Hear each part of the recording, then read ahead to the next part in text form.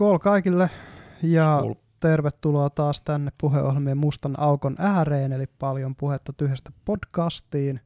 Täällä ihan aidon alkoholijuoman kanssa on tota, juontajina teillä Antti. Ja Jouko.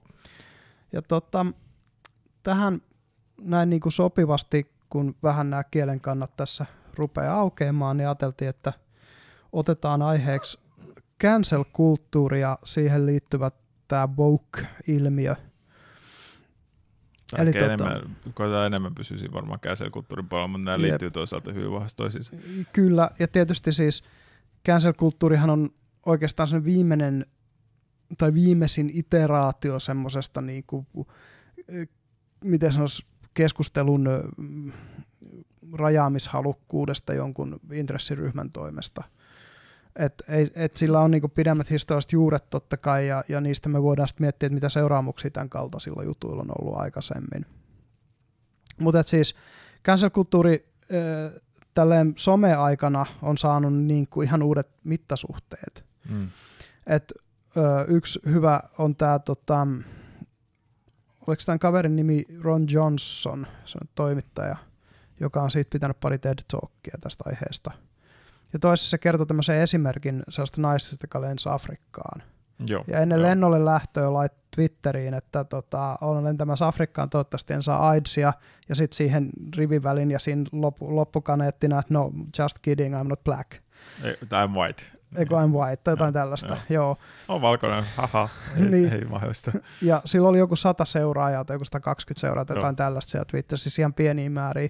Laitan tietysti tämä koko, koko Johnsonin talkki sinne meidän descriptioniin, että jos ihmiset haluaa katsoa se alkuperäisen, niin näkee sen kokonaisuuden. Tämä on tämmöinen tiivistelmä siitä. Joo. Ja äm, no sitten sä laitat puhelimen kiinni, niin kuin siihen aikaan oli tapana, tapana tota, tämä tapahtui joskus, olisiko noin 12 vuotta sitten, että siihen aikaan oli tapana laittaa puhelimet kiinni, kun mennään lennolle, kun silloin vielä oli tämä. Tai, tai onhan se nykyään, tai siis pääasiassahan, tai no, niin, No nyt on jos sä maksat, niin saat V-lainin käyttöön. Niin, ja sitten sit on, niin.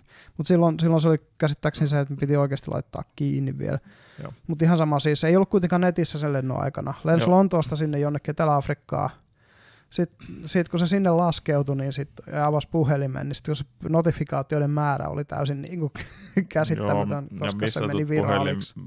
so- soitot ja, ja tekstarit ja, ja Jep, ihan kaikki, oli niin, niin sisältö kyllä. siis se, että okei, potkut on tullut. Joo, potkut on tullut ja, ja suunnilleen kaverit on jättänyt ja Mm. Mutta siis se, että että tosiaan yksi ihminen poimi sen homman, ja tässä on vielä niin naurettavaa se, että se tyyppi oli Labourin kannattaja, jolla ei ollut mitään historiaa rasismista, ei mitään kytköksiä minkäänlaiseen oikeistolaiseen toimintaan. Tämä oli ainut sellainen juttu, minkä olisi millään tavalla voinut tulkita rasisti, rasistiseksi sen hommas. Mutta tämä on musta niinku hyvä esimerkki siitä, että miten tämmöinen niinku mob rule, mikä, tämmö, mikä tähän niinku someen liittyy, on just jotenkin amplifioinut tätä cancel-kulttuuria ja, ja sen, sen tekemistä. Ja tai toi on varmaan se kuuluisin ehkä tapaus. Tämä varmaan on se kuuluisin. Tai no, Mm. on niitä muutama tietysti, mitä on jo käytykin noissa sananvapausjaksoissa, niin kuin se Sam Harrisin öö, islam-kommentointi, mistä se on joutunut maalitetuksi. Joo. Että et sitä on pyritty cancelöimään ja, ja tuota, tietysti tämä Jordan Petersonin jatkuva cancelöintiyritykset ja sitten oli tämä Julian Blankin se maailman vihattuin mieskeissi vuonna 2015 ja tässä vaiheessa melkein voisin kuvitella, että suurin meidän kuulijoista varmaan tiedä, kuka Julian Blanc Mm. on. ja silti se oli maailman, he, siis CNN myöten niin kuin maailman vihattuin mies. Mm. Sillä tosin siihen oli tietyt syytensä, koska sen se markkinointi meni aivan täysin överiksi. Joo.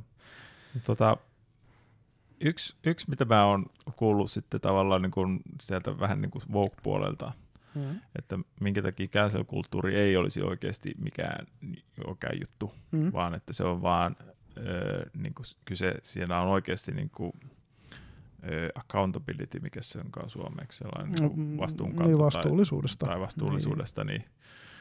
Mutta tota, yksi merkittävä tekijä, mikä sen siinä erottaa, on se, Mm. mm. että tota, cancel-kulttuuriin liittyy hyvin vahvasti valehtelu. Tai että Jep. tämä niin kuin, tarkoitus pyytää jep. keinot. Eli jos päätetään, että okei, tämä on paha, Mm-hmm. saatanan inkarnaatio, mm. Niin kaikki keinot on sallittuja mm. ja se Mm, pitää mm. saada hiljennettyä. kyllä. Et se, se on se, se tarkoituksellinen ää, lainausten ottaminen kontekstistaan Jep. just sillä tavalla, että saadaan vaikka esimerkiksi käännetty ihan sanoma pä- päinvastaiseksi No, vähän niin se- kuin tällä, just tälle kävi tälle ensimmäisen esimerkin tälle naiselle. Et, et se just, että yksi twiitti, joka otettiin pois kontekstista siitä, kuka se oikeasti oli se ihminen. Ja käännettiin niin kuin vielä, vielä kuitenkin aika niin kuin harmittomalle vitsille. No se harmiton vitsi. Mm. Siis, kun, kun oikeasti niin kuin voisi ajatella, että joku niin kuin, että olisi oikeasti, oikeasti siis sellainen niin kuin pahantahtoinen rasistinen Mm, vitsi. mm. Tavallaan. Tai, tai siis sellainen vitsaillaan siis niin kuin sellainen just niin kuin tappamisella tai jollain Mm. mm. tällaisella näin. Mutta että toi on niin kuin, öö,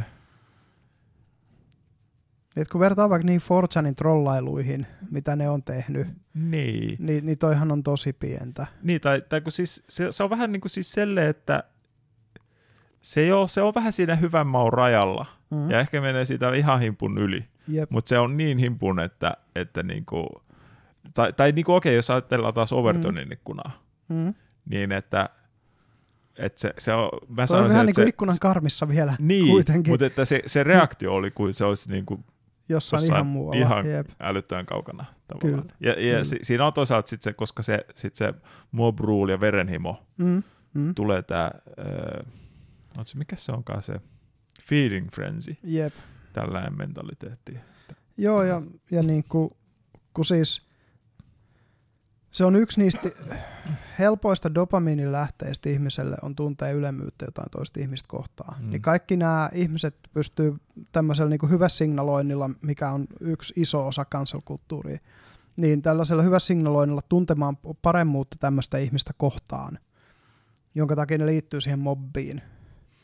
Joo, ja se, se saat tavallaan niinku, vähän niin kuin niitä pointseja, tai ainakin kuvittelet saavasi pointseja, tai että kun sä saat niitä laikkeja sitten toisaalta, Kyllä. niin, niin tota, sit se on, että okei, hei, nyt, nyt mä tavallaan teen oikein tässä näin, ja, mä, ja se on hyvin vahvasti sitten hyvä signaali, että osoitetaan, että mä kuulun tähän oikeanmielisten joukkoon. Mm, kyllä. Ja just toi tosiaan niinku hyvä signalointi poikkeuksen tai niinku erotuksena hyvällisyydestä just. Mm. Että niinku aito hyvällisyys on kuitenkin sellaista, mitä ei, ei, eihän sitä mainosteta.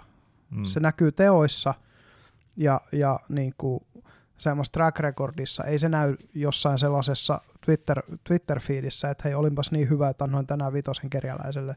Tai, tai se on vähän niin kuin siis just se, että okei, anteliaisuus esimerkiksi on hyvä, Mm, mm, mutta sitten toisaalta ö, vaatimattomuus on myös hyvä. jep.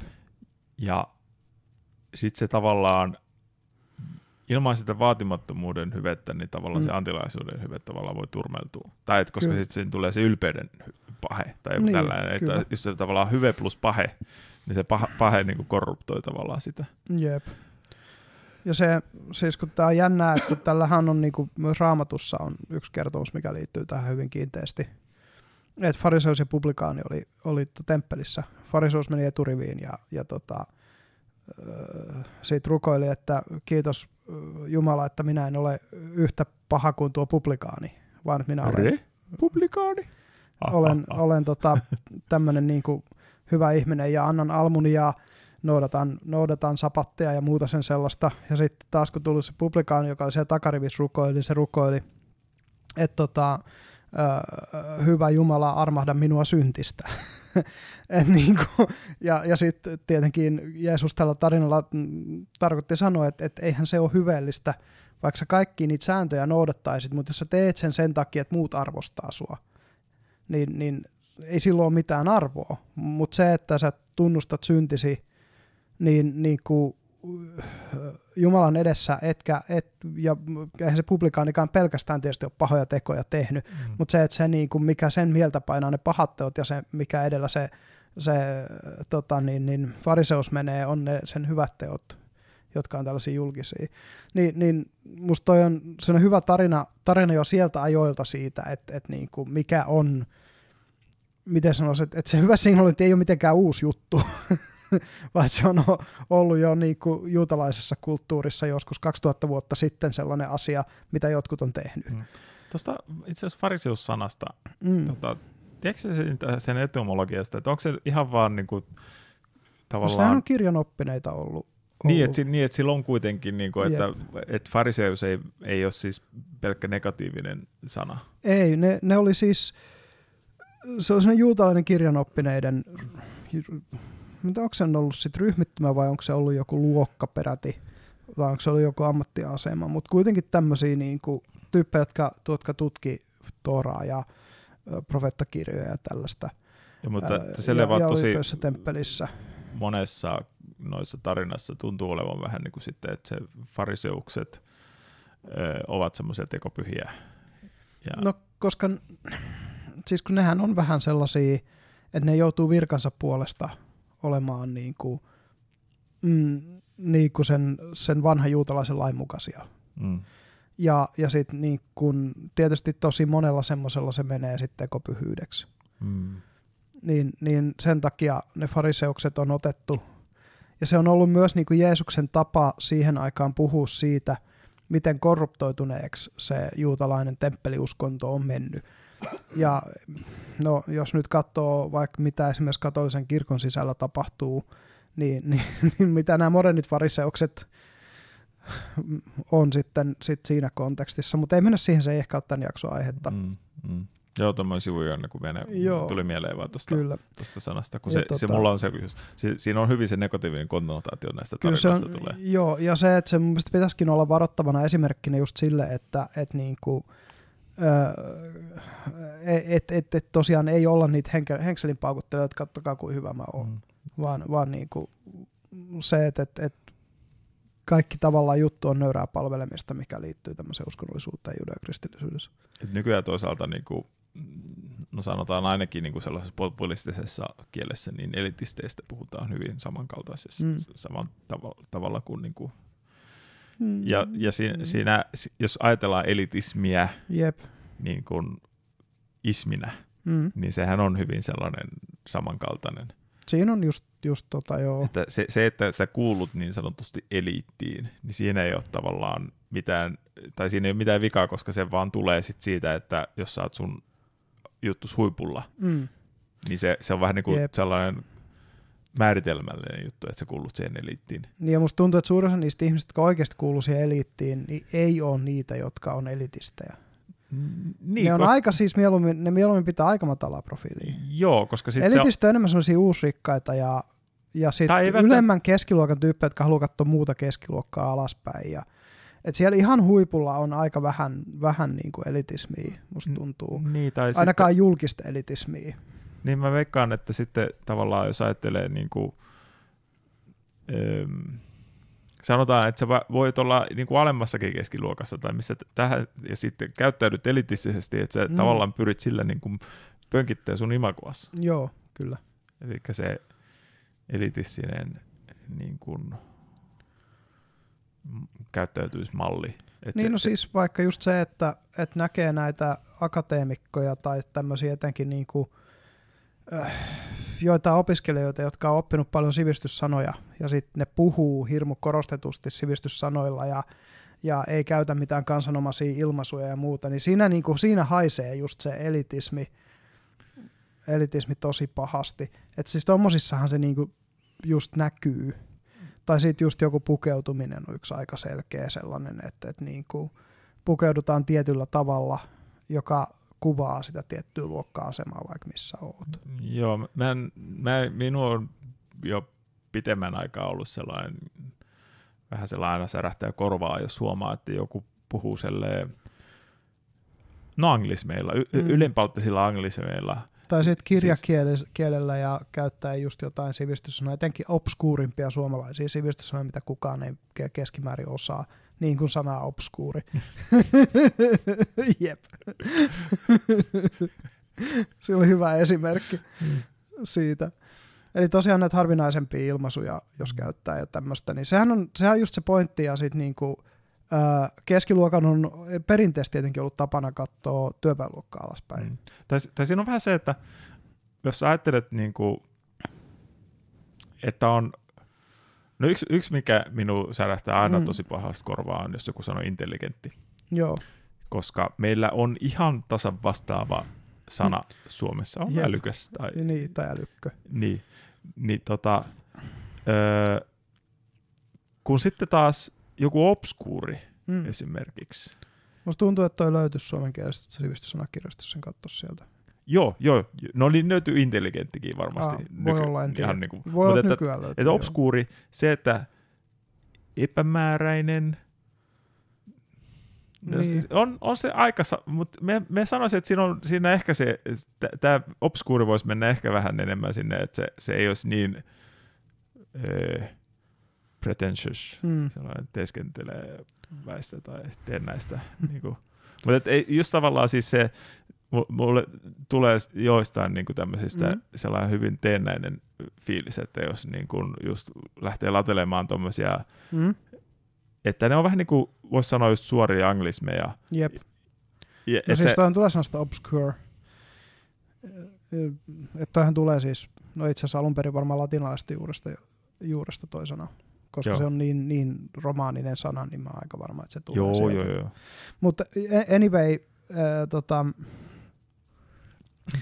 Ähm, elitismi sikseen, tai siis no kansankulttuuri on elitististä, ja, ja itse asiassa se on yksi iso osa koko sitä voukismia ja tätä kansankulttuuria on se, että pyritään luomaan tietynlainen kieli, jolla puhutaan.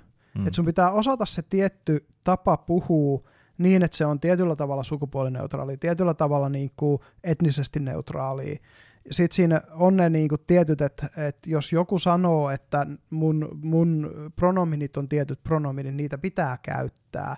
Ja, ja, ja tota, vielä se, että niinku ihmiset, jotka saattaa hyvää tarkoittaen olla, olla oikeasti niinku tyyppejä, jotka vaikka on syrjinnän vastaisia, mutta jos ne ei käytä sanaa antirasisti itsestään, niin, niin se saattaa jo olla se, että sä et kuulu meidän joukkoon, koska sä et laske itseäsi antirasistiksi, vaan esimerkiksi just syrjinnän vastaiseksi ihmiseksi, koska sä et käytä sitä meidän kieltä. Et, et, et niin kuin toi kieli on, ja noi kielipelit on, on musta hirmu tärkeä osa sitä modernin sellaisen postmodernin, tai postmodernin vasemmiston, mm. tämän, tämän nykyisen, nykyisen niin kuin, siinä on marksilaisuuden.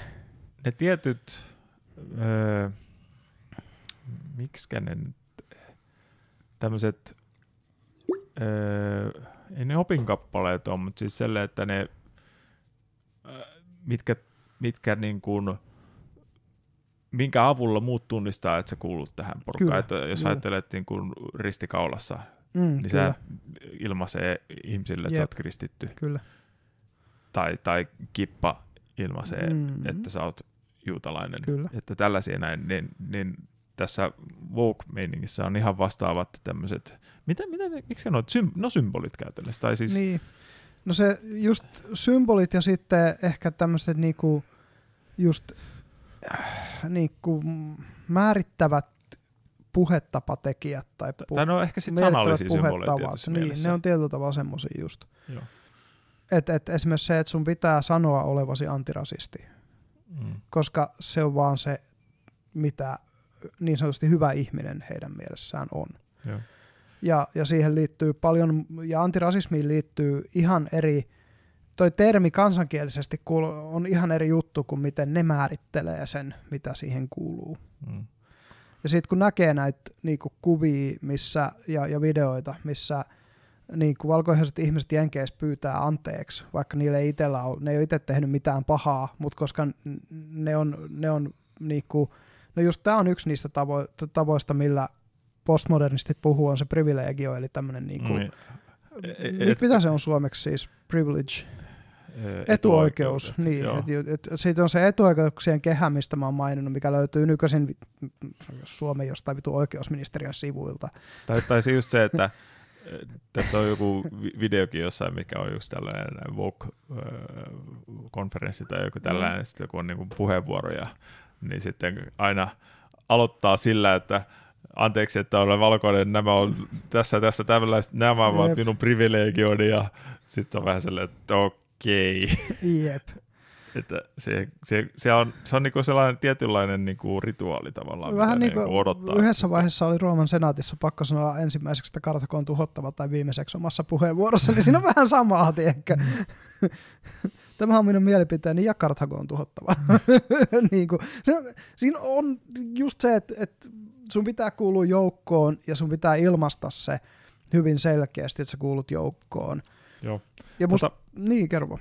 Tai se- se, pitää huomauttaa varmaan nyt tässä, Mm. että, että lähinnä äh, tätä käsikulttuuriahan esiintyy myös oikealla, Joo, ehdottomasti. Mutta- mutta tota, se, se nyt on hyvin vahvasti tällä vasemmalla puolella tavallaan Vogue-puolella hyvin pitkälti sen takia, koska se, mm. se yleinen kulttuuri on tavallaan niin paljon tavallaan sille puolelle kallellaan. Niin siis Et me se Overtonin vähän niinku- ikkuna on määrittynyt niin voimakkaasti sen kautta. Joo, Etenkin niin kuin sen takia siitä ainakin yksi teoria on just se, että koska Silicon Valley ja, ja San Francisco ja nämä, missä nämä isot tekko, te, te, tek, teknofirmat on, niin ne on niin semmoista ydinaluetta tämmöiselle ajattelulle. Ja, ja tota, se, se just, että kaikki nämä teknologiafirmat periaatteessa niin kuin, kun paljonhan konsultit sanoo, että heitä sorsitaan Twitterissä, heitä sorsitaan Facebook, Facebookissa ja ne algoritmit ei, ei levitä niitä niiden, niiden juttuja, missä voi ihan oikeasti olla perääkin. Ja, ja tota, niin, koska ne, niiden firmojen omistajat, sijoittajat ja, ja johtajat on itse jossain määrin liberaalivasemmistolaisia, mm. niin, niin niillä on se sympatia sitä niin sanottua woke-kulttuuria kohtaan. Ja on se toisaalta media kanssa mennyt hyvin vahvasti niin kuin Kyllä. vasemmalle kallelleen.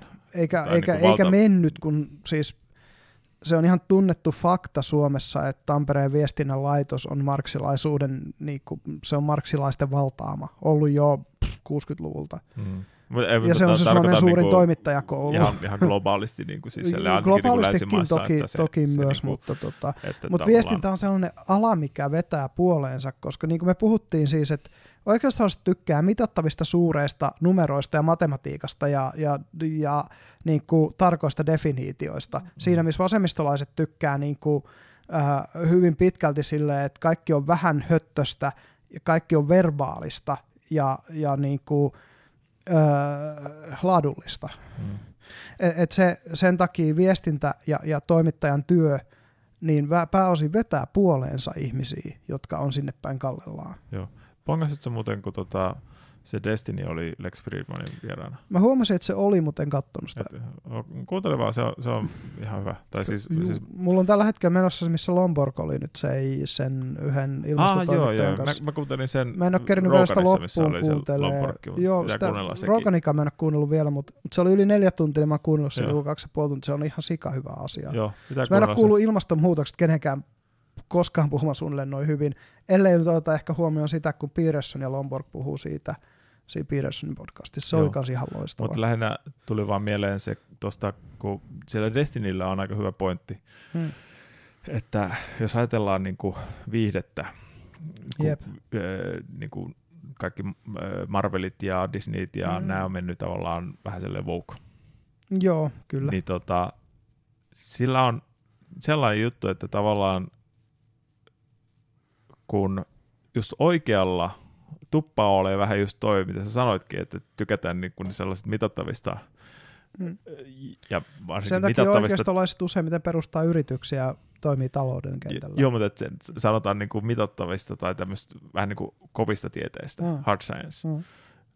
Ja taas vasemmat, vasemmisto tykkää taas enemmän tämmöisistä niin kuin pehmeistä tieteistä niin. Sosiaalitieteistä ja humani- humanismista. Ja tyyliin ö, kirjallisuus Mm. tai tämmöiset ja just viestintä ja viestintä, niin hyvin vi- vahvasti kuuluu Mm. sinne. Mm. Eli sitten toisaalta ne ihmiset, ketkä niinku hakeutuu opiskelemaan just sellaista, että sä päätyisit johonkin Hollywoodiin käsikirjoittajaksi, Kyllä, kyllä. niin tuppaa ole sitten niinku pääasiassa just Jep. niitä vasemmistolaisia tavallaan. Mm. Et siinä on vähän niin kuin siis se, että, että tavallaan niin kuin, koska toisaalta oikea, oikealla ollaan vähän niin kuin kannustettu oikeistoon tai oikealle päin kallistuvia ihmisiä niin kuin Mm. opiskelemaan mm. sitten just niin kuin näitä tämmöisiä, missä, missä niin kuin on selkeimmät niin kuin, selkeämpi Mm. tie öö, Mm. tyyliin, no sanotaan semmoiseen rahan tuottavuuteen tai Mm, niin kuin, Talouden ja teknologia-aloille käytännössä. niin, eli, eli just, että missä sä niin kuin saat tienattua ja elätettyä itse perheessä tällaista. Mm, kyllä. Ja taas vasemmilla, jos ajattelee niin kuin just tämä joku vaikka, eh, mikäli muinaishistorian Mm. tota, tohtorin tutkinto vaikka, Mhm. mm-hmm. että sä voit opiskella kymmenen vuotta ja s- sulla ei ole tavallaan niin kuin, vähän niin kuin tällä nykyyhteiskunnassa niin kuin Sulla ei ole niin kuin markkina-arvoa sillä sun työllä, jos et sä osaa tehdä sitä. On niitäkin, jotka osaa. Siis jos mietit vaikka Dan Carlinia, jolla on se, se Hardcore history. Hardcore History podcasti, Joo. niin kyllä historioitsijakin voi tehdä rahaa. Sen pitää vaan keksiä se keino, millä se tekee sen rahaa. Joo, mutta että selleen niin kuin pääasiassahan niin kuin just, Joo. että jos sä oot niin kuin, opiskelet vaikka jotain tosi obskuuria, Niin. tota, Jep. mitä eli historian Mm. juttua, niin Tai vaikka sukupuolen tutkimusta. no vähän niin kuin joo, niin se, mi- millä, mi, mi, miten sä työllistyt, mikä sun todennäköisin melkein niin kuin tapa työllistyä niin sanotusti aikuisena Mm. on olla opettamassa sitten just sitä. Mm, Joko se tai sitten kirjoittamassa siitä. Niin.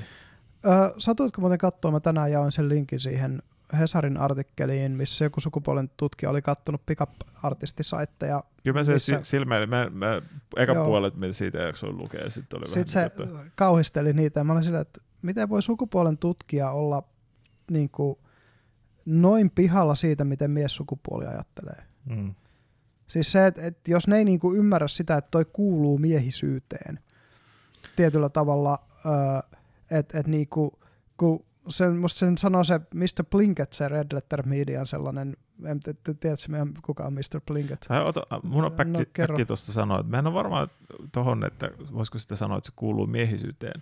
Mä ehkä sanoisin, että se voi olla semmoinen miehisyyden niin kuin, sekundäärinen sellainen sivu, vähän niin kuin, Se on yksi osa, Ilmiö. se, että, että niin kuin miehet katsoo nais, naisia ja niiden ulkonäköä on mun mielestä aika keskeisessä osassa meidän ah, seksuaalisuutta. joo, okei, okay, mutta mä viittasin ehkä enemmän siitä siihen, että missä niin kuin sitten pisteytetään sitä. Niin, no ne, ne on sitten erikseen siis, mutta et se, Et- että et, Että se niinku- pisteyttäminen tai tällä näin, mi- mihin se Joo, siinä hyvin se on- kritisoi, Joo, niin se on se sekundäärinen juttu, että se on joo, niinku se on, se on se niinku ääriilmiö siitä, että miehet, miehet on, on identifioitu, tai niinku miehet katsoo naisen, naisten ulkonäköä.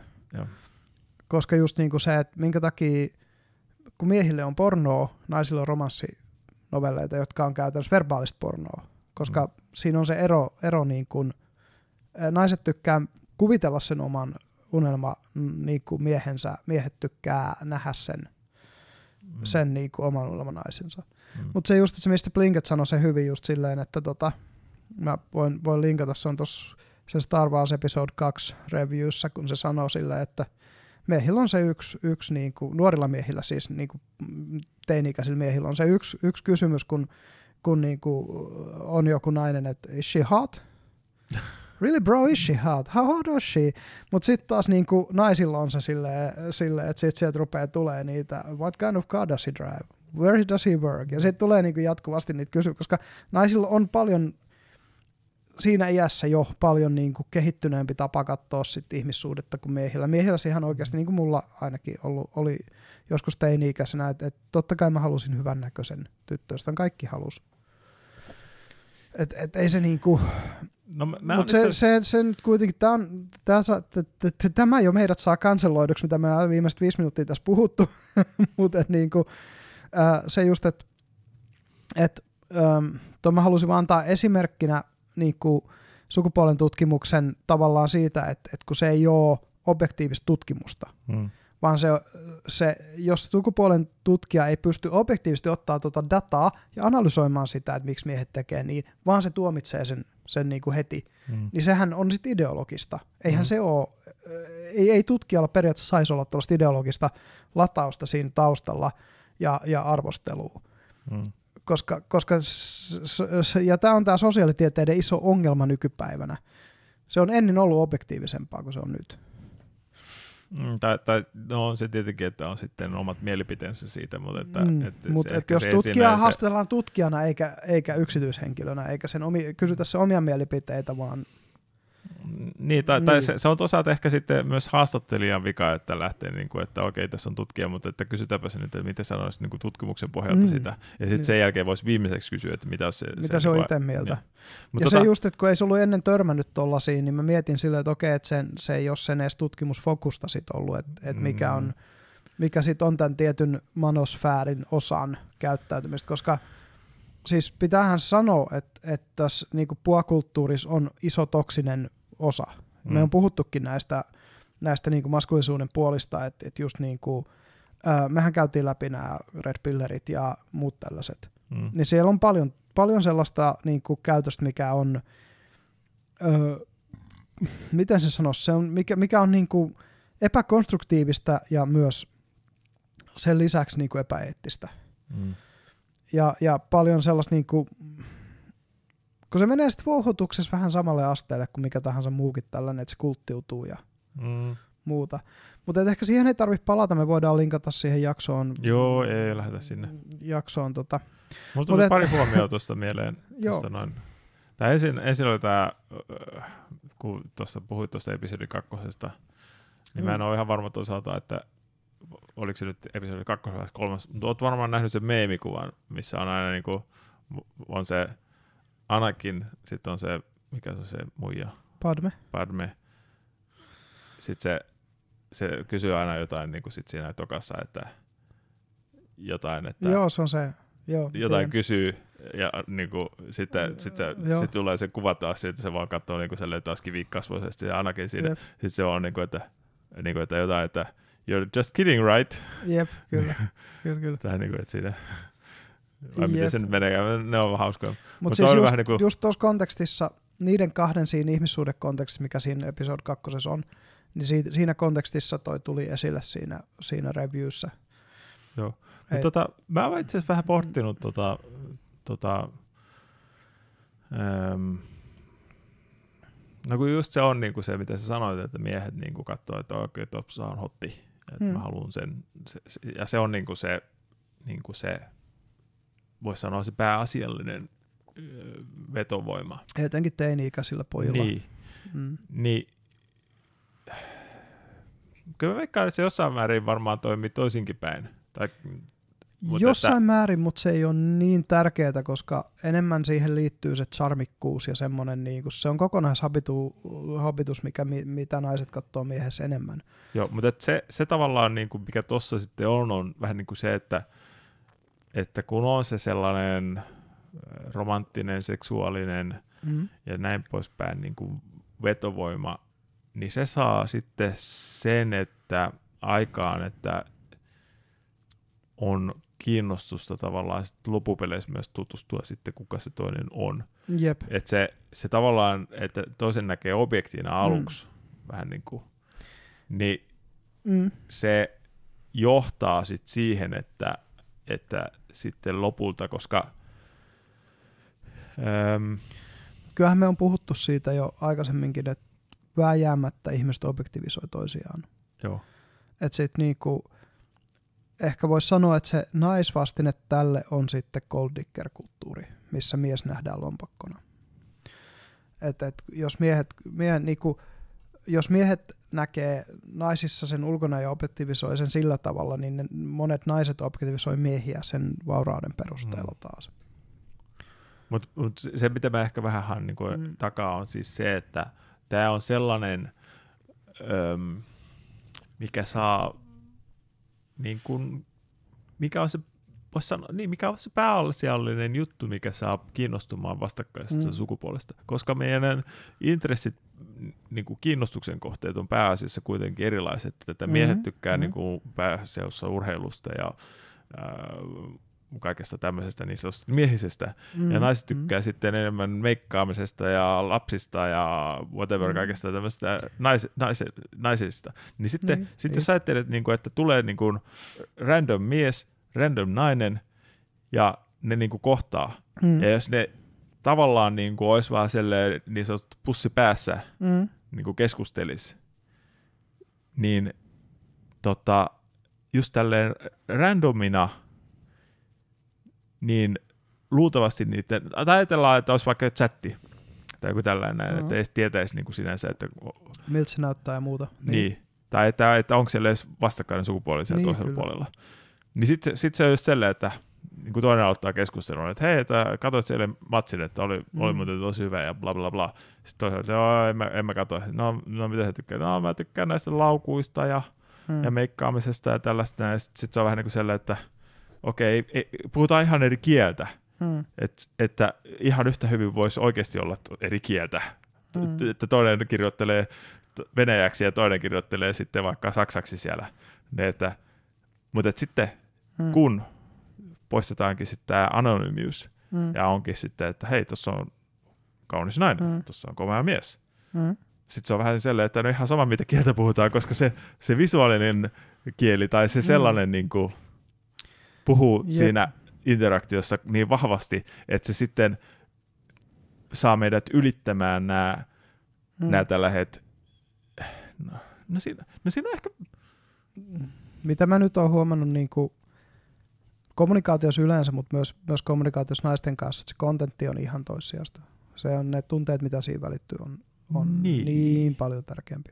Se kaikki subliminaalinen, mitä siinä tapahtuu, on, on niin kuin, se on, se on semmoinen, niin kuin, mikä siinä on keskiössä. mutta toisaalta sillä kontentillakin on oikeasti me, väliä, koska Mm. mm. sitten se, se on huono Mm. mm. että sit jos on niinku, ties kuinka kauan aikaa seurustellut vaikka, tai Mm. mm. naimisissakin ollut, ja sitten on vain se, että ei oikeasti ole mitään yhteistä. Että kun, Joo, sitten kun se kuitenkin se... se no väijämättä on yhteistä, jos on vaikka perustanut perheen, niin on vähintään ne lapset siinä yhteisinä. niin, okei, okay, just. Ne Mu- muodostuu kyllä ne yhteiset asiat ja siis mä, mä sanon ihan suoraan siis sen, että, että toi on kärjistäen sanottu ensinnäkin, että, että se olisi ihan niin kuin ne puhuisi eri kieltä, koska ää, kukaan ei ole täysin feminiininen eikä kukaan ole täysin maskuliininen. Meillä on, me ollaan kaikki, musta se jungilainen näkemys siitä, että kaikilla miehillä on se ää, anima ja kaikilla naisilla on se animus, eli se miesten feminiini ja naisten maskuliinipuoli. Se löytyy meistä kaikista. Mm. Ää, ja tota, meillä on overlappavia kiinnostuksen kohteita, muun muassa niin kuin, mun ex-vaimo tykkäsi katsoa VVE-painia mun kanssa. Aika harva nainen siitä tykkää, mutta hän sattui tykkäämään. Joo, mutta että just se helpottaa sitä yhdessäoloa paljon, Hmm. Tai että, että se niinku on paljon helpompaa se yhdessäolo, jos on oikeasti niitä oikeasti, Kyllä. että se on niinku etukäteen jo, että Mm. He, Että, tai no, tämähän on toisaalta tosi tyypillistä, että se tapaa jonkun harrastuksen kautta. Ja harrastuksen Elikkä tai si- siinä just- on sitten valmiiksi jo se, että se, se Joo. yhteinen, yhteinen kiinnostus. Ja mä vielä enemmän sanoisin, että se arvomaailma on vielä niin kuin asteen tärkeämpi kuin toi. on, on, Et O- se, että et suunnilleen arvostatte samoja asioita elämässä. Ja toki jos teillä on hyvin samankaltainen arvomaailma, että teillä on todennäköisesti samankaltaisia kiinnostuksen kohteita. mutta että, että toisaalta tätä pariutumista sit sen pelkästään sen fyysisen kautta sitä mm. Mm. tapahtuu toisaalta tosi paljon. Ja sitten varsinkin, se on jos, tuntuu enemmän sitä niin kuin yhden illan juttua. jos, no, Tai mm, lyhyitä parisuhteita tai kesä, kesäsuhteita tai muuta. lyhyitä parisuhteita, mutta jos siinä Koska jos sinne tapahtuukin niin sanotusti vahinko, mm, niin sitten no sen takia meillä on niin paljon YH-äitejä tällä hetkellä. Tai YH-isiä. No, on no, niitä muun YH-isiäkin. muassa, joo. Mm. Mutta että sitten sitä aikaisemminhan se on, Vanhaan kunnon aikaan mie, ö, tota, vaimon tai naisen mie, ö, isä otti haulikon ja sitten oli shotgun wedding.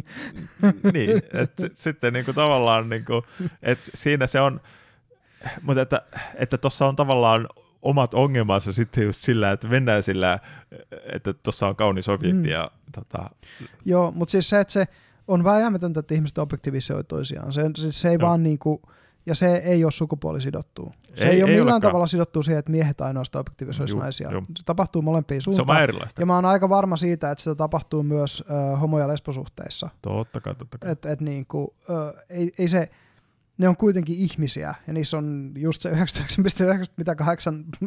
9998 prosenttia samoja geenejä tai jotain sinne päin.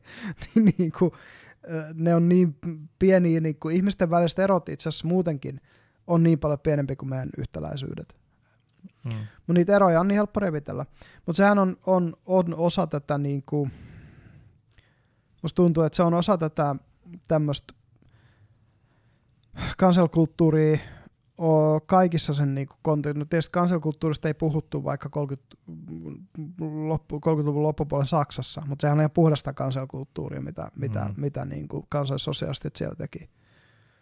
Et, et niin kuin, eihän siinä ollut kahta kysymystä siis silleen, että et niinku... No, tai siinä oli vähän, se, se oli niinku cancel-kulttuuri sillä. Mm, kyllä. Ja, ja tota, tosiaan niin, niin, niin miten se sanoo, siis minkä takia se nykyisin ehkä personifioituu siihen woke-ilmiöön on se tosiaan, että, että käytännössä jos oikeasta haluaisi canceloida jotain, niin se ei onnistuisi. Hmm on hyvin epätodennäköistä, että konservatiivit sais sellaista massaa porukkaa liikkeen, ne vois canceloida jotain. Ne äänestäjät voi canceloida siinä omassa piirissään. Käytännössä jo niin kuin oman piirinsä jäseniä. Et sehän on toisaalta tosi tyypillistä, että niin kuin, äh, fundamentalisti vanhemmat potkaisee niin kuin homolapsensa niin kuin Esim, pihalle. Mutta tosin, niin mä en tiedä sitten, si- siihen liittyy varmaan laajempikin kuilu maailmankatsomuksissa, mutta että niin kuin, se just, että et, et esimerkiksi maltilliset konservatiivit kyllä canceloi niin oikeastaan rasisteja. Mm. Ei ne niitä enabloi. Joo, joo. joo. Että et niin kuin, vaikka kuinka vasemmisto väittää sitäkin nykypäivänä, tai että just tämä postmoderni tämmöinen porukka väittää, että nimenomaan maltilliset konservatiivit enabloi rasismia, niin mun mielestä se on kyllä hevon paskaa. Ei se niin ole.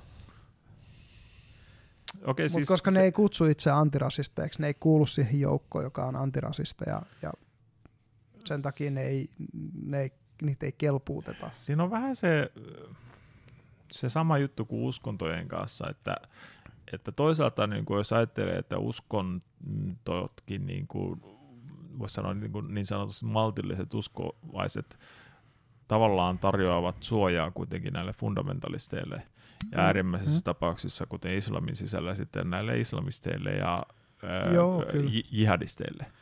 Että, Joo, kyllä. Että se, se toisaalta, koska jos joku kritisoi sitä fundamentalistia, mm. äärimmäistä fundamentalistia, mm niin se saattaa tuntua sitten kritiikiltä niin kuin sitä kokonaisuutta kohtaan. Kyllä, mutta niin mä, en, sitten... mä, en, mä en yhdistä sitä siinä mielessä uskontoon, tai no jossain määrin joo, mutta et niin kuin, jos katsotaan vaikka keissi Jano Turtiainen, niin kyllähän nyt potkittiin puolueesta pois. Joo. Sulo Aittoniemi potkittiin aikanaan keskusta eduskuntaryhmästä keskustapuolueesta pois, kun paljastui, että se on rasisti tai siitä ei kai, ei se mitään oikeasti kai rasistista sanonut, mutta kyllä se on niin rajoja kannanottoja otti pakolaispolitiikkaan silloin, että et keskusta ei voinut katella sitä. se, oliko sitä jo Ysärillä, kun sulla Aittoniemi keissi oli, taisi olla Ysäriä. Hmm. Ja, ja niinku, kyllä se niinku oikeastokin sit, sit niinku jo siinä vaiheessa silleen, että no niin, että et, et se nyt voi, voi niinku käyttää tämmöisiä ilmaisu, näin, näin niinku käristettyjä ilmaisuja jostain maahanmuuttajasta, kyllä sun nyt pitää hävitä täältä. Hmm. Ja sitten mm. just toi, että yksi mitä esimerkiksi konservatiivipiireissä aika vähän ää, kuitenkin siedetään on salaliittoteoriat lopulta. Niin kuin se Ano Turtiaisen kaikki nämä, nämä niin kuin todella ylilyödyt puheet jostain niin kuin depopulaatioagendoista, jotka liittyy johonkin koronarokotuksiin tai Se, se itse asiassa, mikä siinä ehkä jossain määrin enemmän on myös, on sit se, että toisaalta, koska öö, se on vähän sellainen enemmän myöskin liittolaisuus. Että mm. okei, tätä nyt siedetään, koska se toimii meidän vihollista vastaan.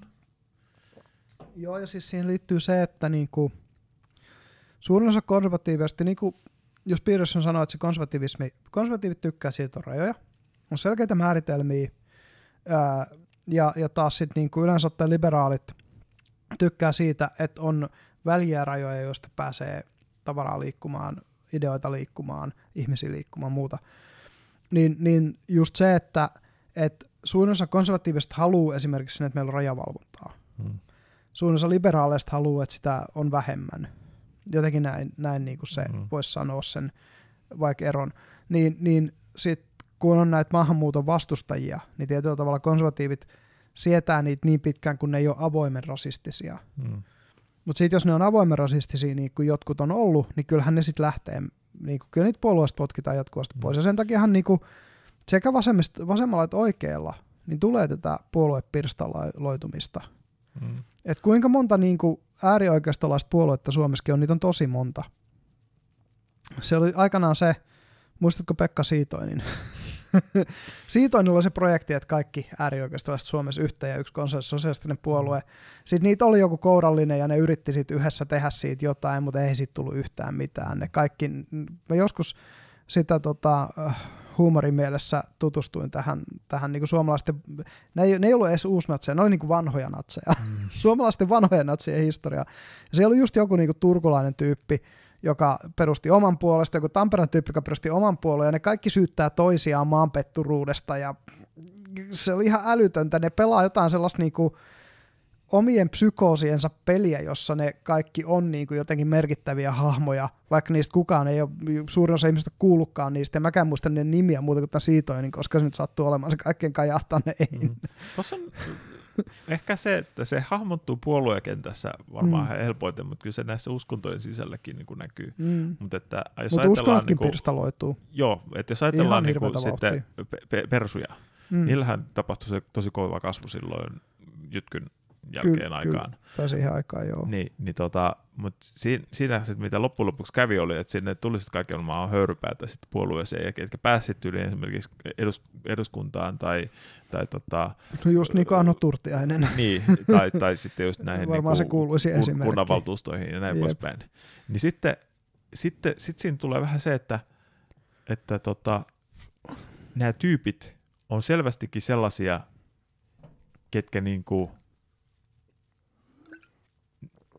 an, heittää sellaisia lausuntoja, mitä ei haluta. Joo, Mutta Kyllä. ne on saanut ääniä. Just se on se Niin- pointti. Ja kato, kun ö, Suomessa on listavaali, Mm. niin jos sulla on täyslista, niin se on parempi kuin sulla olisi ö, vajaa lista. Joo. Koska se listan kaikki äänet menee sille parhaalle ehdokkaalle. Niin, niin siinä vaikka perussuomalaiset kasvoi vauhdilla, niin kuka tahansa, joka lähti, niin laitan nimi tuohon paperiin, niin oot kunnallisvaaliehdokas. Mm. Ne otti kaikki. Mutta sama teki vihreätkin joskus käytännössä. Sen takia vihreissäkin on kaikenlaisia hörhöjä, niin kuin kaikkea ekofasistia ja muuta tällaista Mm. mm. löytynyt, mm. Mm. löytynyt tota joukosta ja, ja tota muuta. Niin. Mutta et si- siinä toisaalta sitten Et kasvaa puolella joutuu tavallaan myös tekemään sen, että ne listat täyteen. Ja, mutta se ei ole sitten toisaalta edes kasvavan puolueen ongelma. Kyllä se on Mm. vanhojenkin puolueiden ongelma, että sitten niin kuin, että mitä tehdä näille tyypeille, joka on niin kuin vaikka eh, saanut paljon ääniä, Mm. mutta se, se sen on sen, sen, se on jollain tavalla ongelmallinen niin kuin puolueen maineelle. Niin, siis ne on riittävän suosittuja tietyssä porukassa, että ne kerää aina, aina sen riittävän määrän, määrän semmoista kannatusta, jota me tarvitaan. Mutta Mm. niin Mutta sitten sieltä tulee lausuntoa, mitä niin kuin puolue ei voi allekirjoittaa ja sitten joutuu aina niin kuin topputtelemaan tai, tai niin kuin julkisuudessa sitten niin kuin selittelemään tai jotain. Tämä on hyvin Mm. kiusallista sille tavallaan puoluejohdolle. Ja sa- samalla tavalla sitten, niin kuin, öö, jos ajatellaan sitten, sitten tota, enemmän vaikka niin kuin oikea vasen jako, mm. mm, niin se koko vasen, niin se on, se on hyvin kiusallista alkaa selittelee sitten jotain antifaan terroristeja. mm, kyllä, Että, ehdottomasti. koska tai se, se näkee niin, kuinka, kuinka vaikea tai kuinka nämä ei oikein sitten, tai tätähän aina Mm. mm. perätään, että irtisanoudutko, Mm, irtisanoudutko tästä lausunnosta, Mm, irtisanoudutko kyllä. tästä, että, siinä, kyllä. että hyvin Ja paljon niin kuin, puoluesihteerit niin joutuu vastaamaan niin, niin, että me, mediassa aina perätään niin kuin tällaista, niin kuin, Irtisanoutuuko perussuomalaiset nyt tästä lausunnosta? Irtisanoutuuko vihreät nyt tästä lausunnosta? mm, että se, se on vähän niin kuin, että, Edustaako tämä puolueen linjaa? niin, että Sitähän va- se- vaaditaan ne sellaista tietynlaista Mm, ekskommunikaatiota. Jep. Ja tota, puolueet on vielä semmoinen vähän niin kuin, koska poliittiset liikkeet on niin elä, eläviä. Että jos Mm. katsoo vaikka just perussuomalaisia, ne oli soinilaisena käytännössä hyvin maalaisliittolaisena ja hyvin niin kuin populistisena, tietyllä tavalla niin kuin, mm, tietynlaisen populi, tietynlaisena populistipuolueena suosittu. Mm. Mutta se vanha kaarti, joka oli silloin suosittu, niin syrjäytyi ihan täysin, kun halla valittiin. Se on silti, se puolue on suunnilleen yhtä suosittu yhä, kun se oli silloin Soinin kaudella, mutta ihan eri syistä. Mm. Et poliittiset liikkeet elää tämmöisiä aikoja, ja samahan se on vihreissä. Et vihreät oli aika suosittu puolue jo Ysärillä, ei niitä montaa niitä Ysärin oikeasti suosittuja vihreitä, niin, niin, niin kuin Osmo Soininvaarat ja ketä tätä vanhaa kaartia nyt oli, niin ei niistä montaa enää ole jäljellä. Mm. Heidi Hautalta. Ne on, ne on siirtynyt, joko ne on siirtynyt mepeiksi, tai ne on, on niin siirtynyt jo politiikan tavallaan eläkkeelle, politiikasta eläkkeelle. Ja nyt siellä on nämä niin kuin Atte Harjanne ja, ja ketä nämä ministeri Krista, ei Krista Kiru keskusta, ketä nämä, nämä pari ministeriä, jotka sen on, en mä enää muista näitä vihreitä, kun ei jaksa seurata politiikkaa niin paljon. Mutta se on uusi kuitenkin sukupolvi vihreitä. Ja ei vanhassa vihreässä puolueessa puhuttu esimerkiksi just niin kuin, äh, intersektionaalista feminismistä juurikaan. Hmm. Uudessa vihreässä puolueessa on, se on ohjelman, enemmän ohjelman keskiössä kuin ympäristöasiat, joka on täysin naurettavaa. Joo, ja onhan se, sehän on SDPllä kanssa ja vasemmistus. Joo, ja SDPssä toi on vielä karumpi, koska katsoo sitä vanhaa niin kuin lipposlaista, lipposlaista niin kuin AY-liikkeen vasemmistoa. Tässähän oli tämä, mikä se nyt olikaan tämä, kuka oli äh, Antti Rinne. Joo. Joo, kenen tilalle Marin, Marin tuli, tuli että jep. sehän oli hyvin vanha, sitä vanhaa kaartia. Kyllä, ja se ja, on just ja, jännä, että siis Antti Rinne keräs ne, niin kuin, keräs sillä ohjelmalla sen kannatuksen, ja Sanna Marin käytännössä lähes tyhjiöstä tuli. Hmm. Mutta Mut se on, se on osa uu, politiikan uusjakoa. Mm. Mä sanoin siitä jo yhdessä jaksossa, että politiikka ei ole enää niin paljon vasemmista oikeasta jakosta, se on globaalisti lokalisti jakosta. Ja Sanna Marin on, on globaalisti, Antti on lokalisti. Mm. Et siinä on se niin kuin ja, ja tässä on sitten hyvin ero. paljon kanssa selittyy persujen nousu, koska tota, öö, SDPssä alkoi niinku se varsinainen niinku onko se nyt reaalipolitiikaksi sitä nyt sanotaan, että miten, miten se niiden politiikka alkoi näyttäytymään, että se oli mm. hyvin paljon vähemmän niin, kuin niin sanotusti työläisenä siellä, Jep. vaan että se oli, alkoi investoimaan just tätä intersektionaalista feminismiä ja tällaista näin. Niin kuin, Joo, että, ja just tätä globalistista ajattelua, kun ennen oltiin suomalaisen työväen asialla. Niin, no, no vähän niin kuin tämä rajatauki meininki. Jep. Niin tota, sitten tämmöiset tehdastyöläiset, esimerkiksi, kelle se rajat auki meininki, niin se, se on vaaraksi heidän elinkeinolleen. Mm, kyllä. Niin he siirtyy sitten persoon. Niin mm, hyvin monet kyllä. Ja tota, se siinä just on, että jos katsoo oikeastaan niin mä luulen, että jos katsoo niin kuin demareita, niin se oli Jutta Urpilainen, joka oli se ensimmäinen niin kuin tätä uutta aaltoa edustanut, mm. edustanut demari oikeastaan, niin kuin, joka oli, oli sit niin kuin yhtään korkeammalla – ja tota, just toi, että et niinku se globalismi ajaa sitä vanhaa kannattajakuntaa, jotka on aika lokalisteja, niin, niin pois näistä. Ja, ja persut on taas niinku profiloitunut lokalistipuolueeksi. Ihan, joo, siis erittäin vahvasti. Jep. Keskusta oli ennen, mutta sitten kun keskustasta tuli liberaalimpi, ja ne liittyi siihen Euroopan liberaalipuolueiden ryhmään ja muuta – ja sitten tämmöiset, just niin kuin Krista Kiuru mainitsin, tosiaan tämän tyyppiset keskustalaiset, joilla on enemmän se mm, niin kuin Euro, EU, EU-keskeinen ja globalistinen näkemys, niin ne on ajanut, musta tuntuu, keskustan Joo. aika, aika et, niin kuin pitkälti että, Jos ajattelee, että äh, tälle, että eduskuntapuolueista, niin persuthan on ainoa, joka niin kuin sanoisi Suomi ensin. Hmm mistä tulee siis, se on niinku ihan niiden Make America jopa slogan, slogani. Kyllä. No ei se välttämättä edes mene tohon, mutta kuitenkin niinku siis, että, että Suomi ja suomalaiset ensin. Mm. Se on niinku mm. ainoa näistä eduskuntapuolista. Nimenomaan siis niinku... suomalaisessa politiikassa pitäisi pitää suomalaisten puolta. Joo. Siitähän ne ajaa, kyllä. Joo. Ja tota, ne on tosiaan ehkä, no kristillisdemokraatit on ehkä toinen, kun niillä on se kotiuskonto isänmaa niin. aika pitkälti vielä. Mutta mutta ne on pienpuolue ja ne on aina ollut pienpuolue Suomessa. Joo. Mutta että ne on, ne on niinku toinen sellainen, sellainen puolue, joka ei ole kovinkaan globalistinen, vaan nimenomaan aika lokalistinen. Mm, joo. Et, et se on, on, niin musta oli jännä itse asiassa, musta yksi kommentoija sanoi sitä hyvin, että et niinku kristillisdemokraatit, että on ihan hyvä, että meillä on tämmöinen pienpuolue, joka joka niin kuin edustaa käytännössä valtion kirkkoa meidän edus, eduskunnassa, mikä jotenkin tietyllä tavalla niin kuin makes sense, kun meillä kerran valtion kirkko on. Mm. Mutta et, et niin kuin, no joo, anyway, se, mutta et, no, olemme niin kuin puhuimme Päivi Räsänen, on joutunut cancel-kulttuurin, jos nyt puhutaan, niin onko kukaan poliitikko joutunut pahemmin cancel-kulttuurin hampaisiin kuin, kuin se, että tota, tämmöinen intersektionalistinen valtakunnan syyttäjä hyökkää Päivi Räsäsen kimppuun. No, hallaho. No joo, se on toinen. Se, se joutui kans käräjille. No, ihan, ihan korkeimpaan oikeuteen Jep. asti, ettei pelkästään käräjille. Kyllä, kyllä. Et, Että sehän oli, siis, siis sehän oli hyvin vahvasti sellaista cancel-kulttuuria. Oli, niin oli. Siis, Ihan niin sama- sama Halla-aho, kuin- niin kuin, tota, joo, halla tietysti trollas vielä siihen päälle. mm, Et, et, mä en tiedä, voiko Räsästä sanoa, että se trollaa vai onko se vaan niin, kuin, niin vakaumuksellinen. Että se, on, no, niin. kyllä me, me, siis on siinä sel, selvää, että Här, Räsänen ei mun mielestä kyllä, se, kyllä se myös ymmärtää varmasti nykyisen, nykyisessä zeitgeistissa tai tämmöisessä niin kuin nykyisessä poliittisessa ilmapiirissä, että miten inflammatorisia se lausunnot on.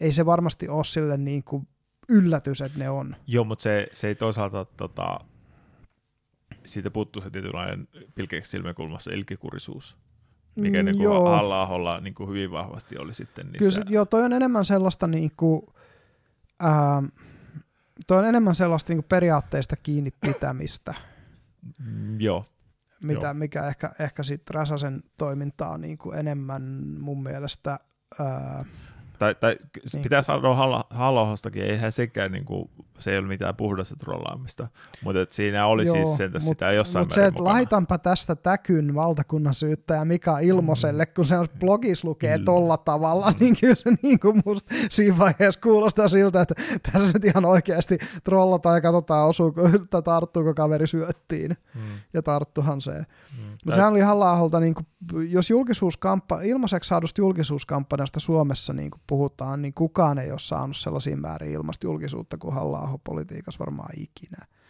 Et se, se on hyvin semmoista Trump-maista suorastaan. Niin kuin, niin kuin Trumphan sai ihan sikamaiset määrät ilmasta julkisuutta sillä tuommoisella röyhkeydellä. Silloin toki oma, oma tapansa tehdä se, koska Jenkeissä tehdään eri tavalla. Mutta just toi, että halla, minkä määrä halla sai julkisuutta, paljon sitä haastateltiin, miten usein se pääsi kertomaan niistä omista kannoista ja muuta, niin Mm. olihan se niinku ihan, ihan eri tavallaan se, että ei, ei kukaan meistä tiedä, tai että kyllä me tiedettäisiin kuka halla on, mutta ei kukaan meistä niinku tietäisi tässä määrin kuka halla on ilman sitä yhtä tapausta, jos se meni sinne korkeampaan oikeuteen. Mm. Mm. Et tosta tulla, ja tuossa tullaan semmoisen aiheeseen, mistä voitaisiin kohta pitää ensin tauko, mutta puhua sen tauon jälkeen siitä, miten cancel-kulttuuri itse asiassa kääntyy itseään vastaan. Koska sitten kun, sit kun yritetään mob-rulilla canceloida joku, niin siitä voikin tulla sen vastapuolen ikoni. No, vähän tää, se on vähän kuin se Streisand-efekti. Streisand-efekti, tavalla. se on Mut tietyllä tota, tavalla. ot- mä otan kanssa sitten tauon jälkeen tämän yhden, yhden keissin puheeksi, tota, Joo. mikä vähän niin kuin minun innoitti kanssa tähän näin, että keskustellaan tästä cancel-kulttuurista. Tehdään näin. Joo, tauolta takaisin ja tota... Oi, oi. Nyt on alkoholi vaihtunut veteen tässä vaiheessa, ei enempää viitti juoda, muuten kielen kannalta aukeaa aivan liikaa. Sulla oli joku keissi, mistä haluaisit jutella, niin Joo, vaikka siitä liikkeelle? joo tämä oli tota, Sam Harrisin podcastissa, oli tota vieraana, mikäköhän se nimi olikaan? Äh, no ikävä kyllä mä oon unohtanut sen nimen. Mm-hmm. Mm, tota, se on tota itse asiassa yksi niistä äh, sanotaan harvemmista podcasteista, joita nykyään Sam Harris antaa kuunnella ilmaiseksi kokonaan. Joo. Et se on koke- kokenut sen sen verran tärkeäksi asiaksi, että se mutta että tässä nyt on hyvin tällainen känselöintijuttu keissi, että siinä tota, Tämä. Mm-hmm. nainen, öö, se on itse asiassa tosi mielenkiintoinen se nainen tarina, naisen tarina Joo. muutenkin, se on niin oikeasti tehnyt kaikkea tosi jännä juttu, Joo, tai sen elämä, just miten se on, miten se on duunailu. elänyt siis värikkään elämän. Joo, joo. Joo. Et se, se on ihan sen takia jo, jo niin kuin hyvä, hyvä kuunneltava. Mm-hmm. Mutta tota, se teki dokumentin öö, tämmöisistä, öö, sen alkuperäinen nimi oli muistaakseni Jihad Rehab. mm-hmm. Että tota, se on niinku tällainen, mitä Saudi-Arabiassa tehdään.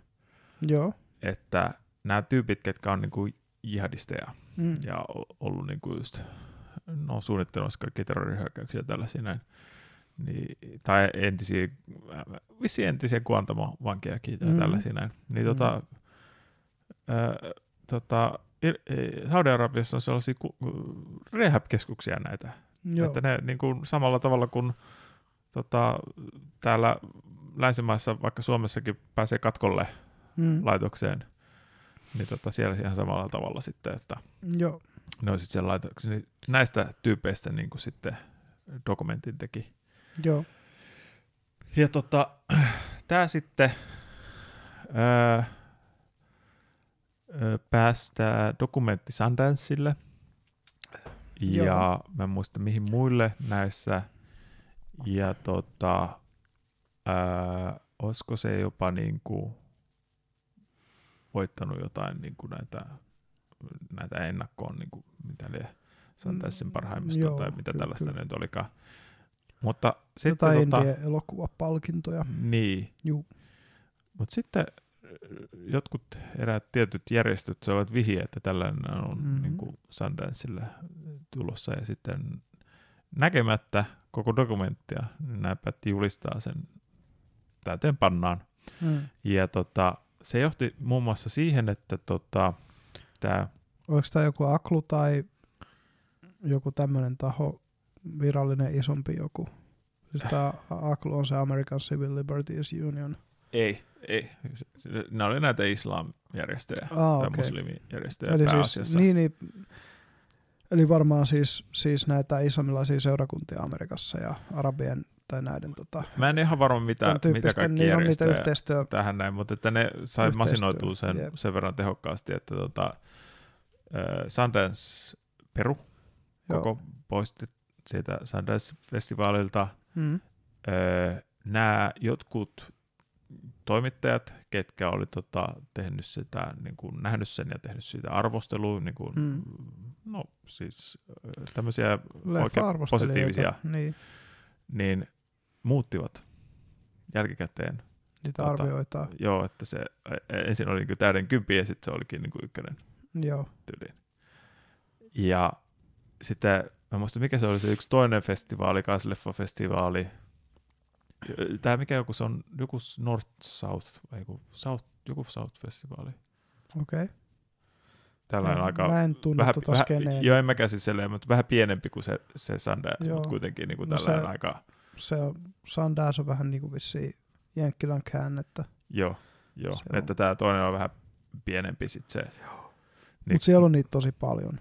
Joo, mutta että, Jep. no, no sitten oli muitakin, niin kuin, missä Mm. mm. siis, että se oli niin kuin, tulossa sinne ja sitten kaikki Mm. niin kuin, loppujen lopuksi perusen. Joo. Ja tota,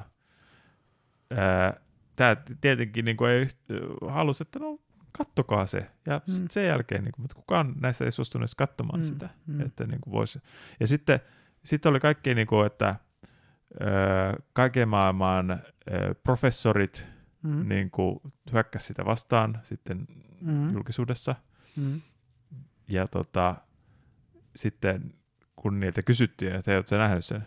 No, ylläri pylläri, ei ollut nähnyt tietenkään. Mm. Ei ollut mitään hajua, mi- mistä on kyse, Jep. vaan että si- siitä, sit, sit, tiesivät vaan, että sitä vastaan pitää hyökätä. Mm. Niin tota, öö, no tällä on nyt siis sellainen hopeareunus kuitenkin tällä, Mm. mm. tällä että tota, no osittain just tämän Sam Harrisin haastattelun seurauksena, kun sillä on sitten ollut sellainen GoFundMe, Joo. tota, ihmiset tukivat sitä sen verran, että he nyt sit pystyvät sitten tälle yksityisesti öö, levittämään ja, ja Joo. että ei, ei mene kaikkien näiden ihmisten niin kuin työhukkaan sitten sillä lailla, että, Kyllä, kyllä. mutta että tämä on niin kuin hyvin sellainen, missä niin kuin, koska, okei, okay, ja tämä, tämä on vielä se Mm. juttu tässä näin. Öö, se, mitä se tämä filmintekijä pelkäs, on, mm. että tota, oikeisto hyökkää sitä vastaan. Mm. Että, että oikealla olevat ihmiset eivät, niin kuin no fundamentalisti kristityt esimerkiksi, eivät halua hy- hyväksyä tai nähdä sitä, että tämmöiset islamistit, jihadistit voivat niin sanotusti parantua. Mm, Tai niin kuin, mm. että, että, Jep. N- Mutta sitten se hyökkäys tulikin niin vahvasti, että sieltä ihan toisesta suunnasta, mitä se Mm, odotti. Ilmeisesti vielä niin kuin maltillisista muslimipiireistä periaatteessa. Mu, mu, myöskin, Joo. myöskin. Et se, niinku, se, kyllä se masinointi saatiin niinku, et ihan kokonaan, niinku, Jep. et, et, eihän siellä pelkästään ollut muslipiirissä, vaan sitten Mm. mm. se, se, saatiin sitten kaikkea Niin muuta nämä, tätä. nämä woke allied Jep. mukaan. Saatiin nämä muut, muut kyllä. mukaan. Mutta Joo, että se just on- se, se sellainen tavallaan, että vähän niin kuin tämä vasemmisto syö itseään. Mm, kyllä. Niin kuin, No nyt, kun, nyt kun otettiin nämä, nämä tuota, niin islamistit ja islam puheeksi, niin tuota, ö, sehän on siis just jännä, että kun meillä on islamilaiset vähemmistöt lännessä, jotka Mm. on, woke, joita tämä woke-porukka paljon puolustaa just diversiteettiagendansa takia, mm. mutta sitten niiden islamilaisten ihmisten arvot on tosi paljon vielä konservatiivisemmat kuin monilla esimerkiksi kristityillä tai juutalaisilla. Mm.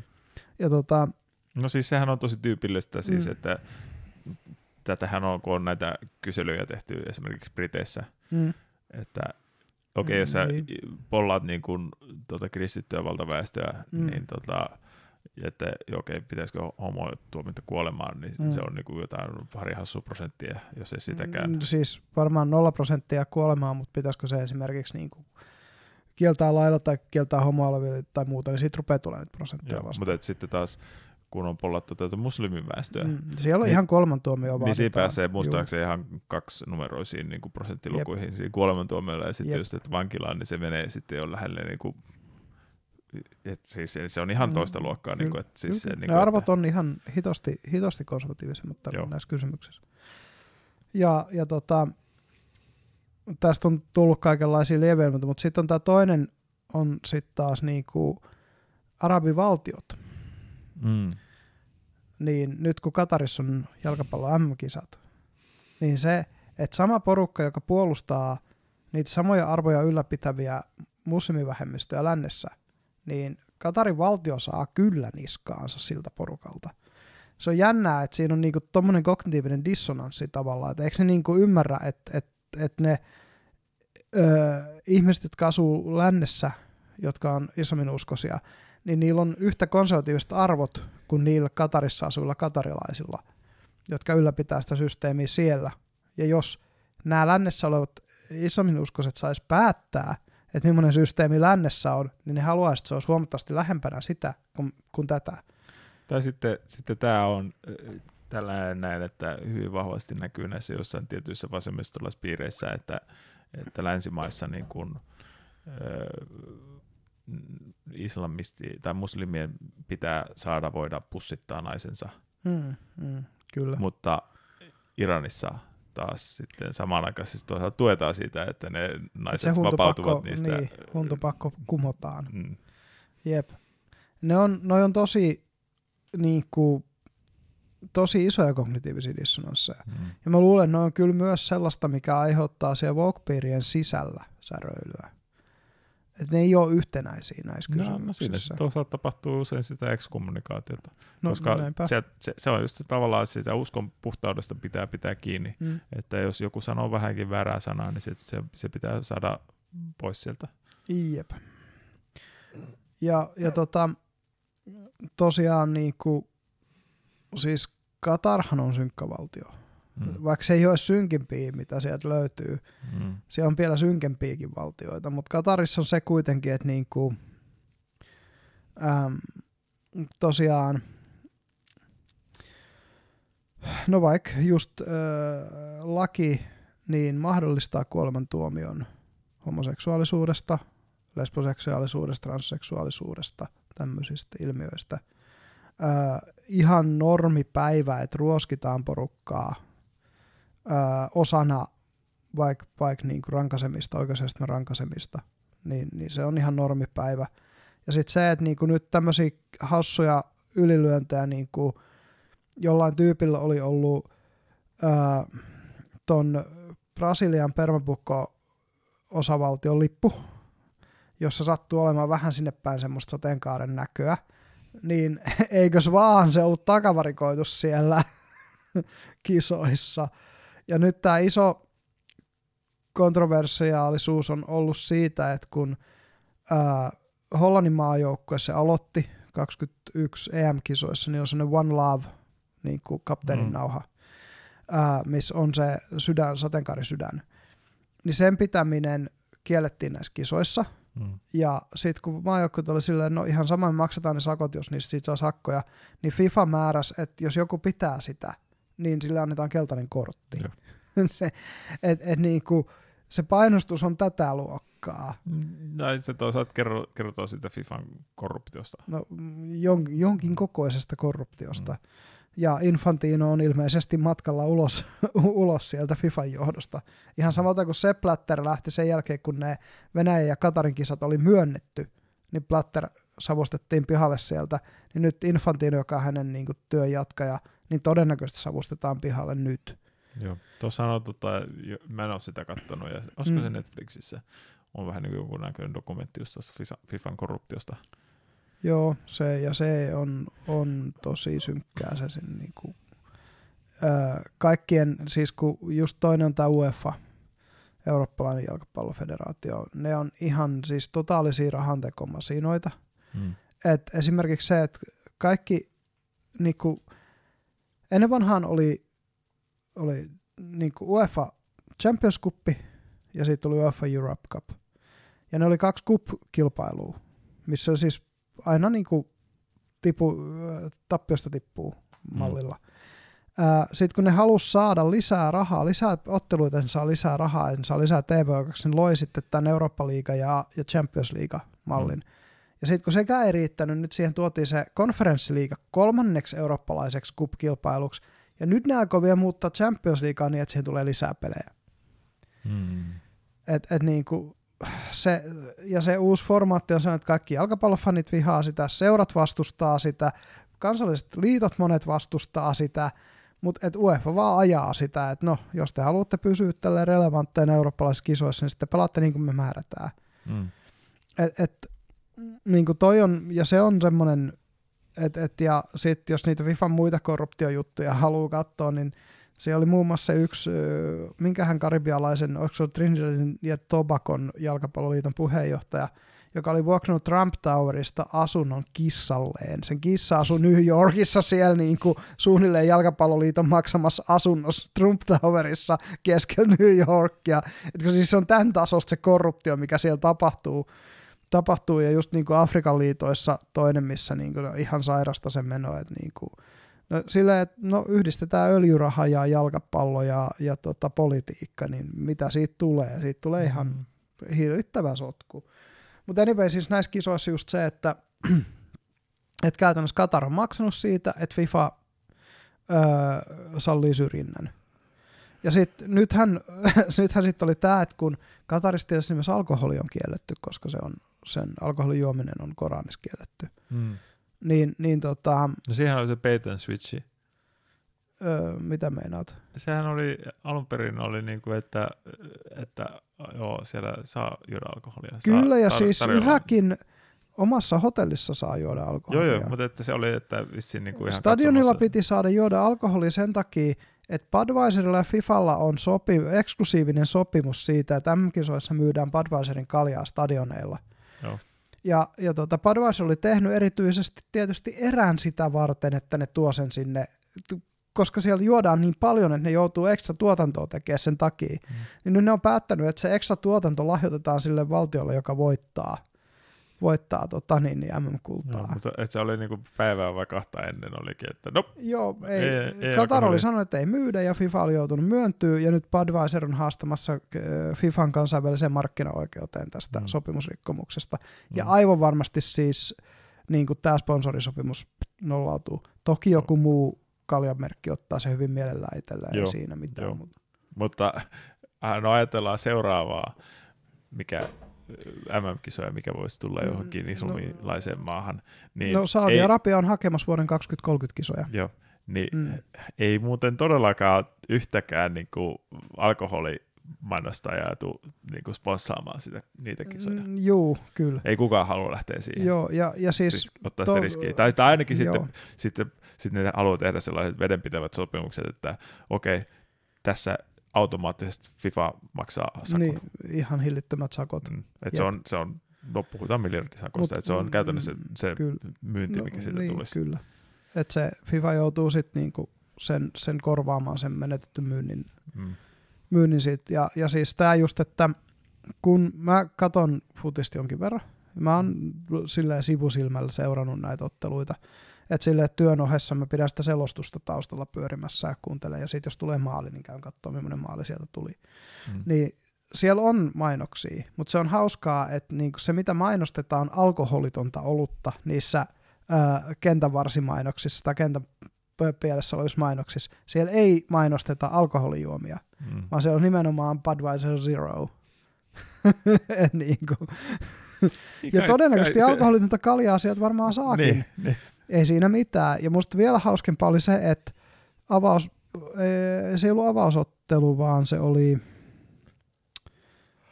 se oli se Ecuadorin peli, kun ecuadorilaiset fanit huus. Oliko se just Katariin vastaan se Ecuadorin matsi, kun ne fanit huusi siellä puoliajalla silleen, että me halutaan kaljaa, me halutaan kaljaa. Ai mä luulin, että se oli espanjalaiset. Ei, ei ne oli ecuadorilaiset, jotka sitä Joo, teki. Joo, se, joo, se, Ja- sen mäkin törmäsin, että siellä oli vähän. Jep. Ja sitten se, no siellä on muutakin sellaista, niin kuin, tämä on taas tätä hienoa tekopyhyyttä, mikä tähän FIFAn toimintaan liittyy, että sitten kun Ecuadorin fanit on silleen, että Chile olisi täällä, mutta neitä ei päästä maahan, kun ne on homoja, kun ne siis karsiutui näistä kisoista, niin siitä aiotaan Ecuadorin jalkapalloliittoa nyt rankasta sakolla samalla, kun kisat pidetään maassa, jossa homoseksuaalisuus on laitonta. Niin kuin, Tämä on just näitä tällaisia, että ei, ei tämmöisessä ole niinku mitään, tässä niinku mitään sellaista koherenssia tai mitään logiikkaa. No siis raha ratkaisee. Paitsi raha. Se, se, on se, se, on se, mikä ohjaa tätä. Että siinä löytyy se logiikka ja koherenssi. Kyllä. Että se on vaan, että okei, okay, kuka maksaa? Jep.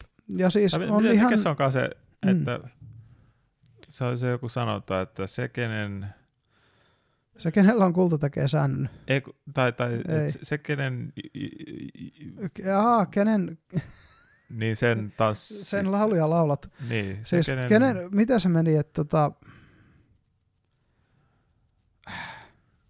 niin mikä se eka puoli on? ootas nyt.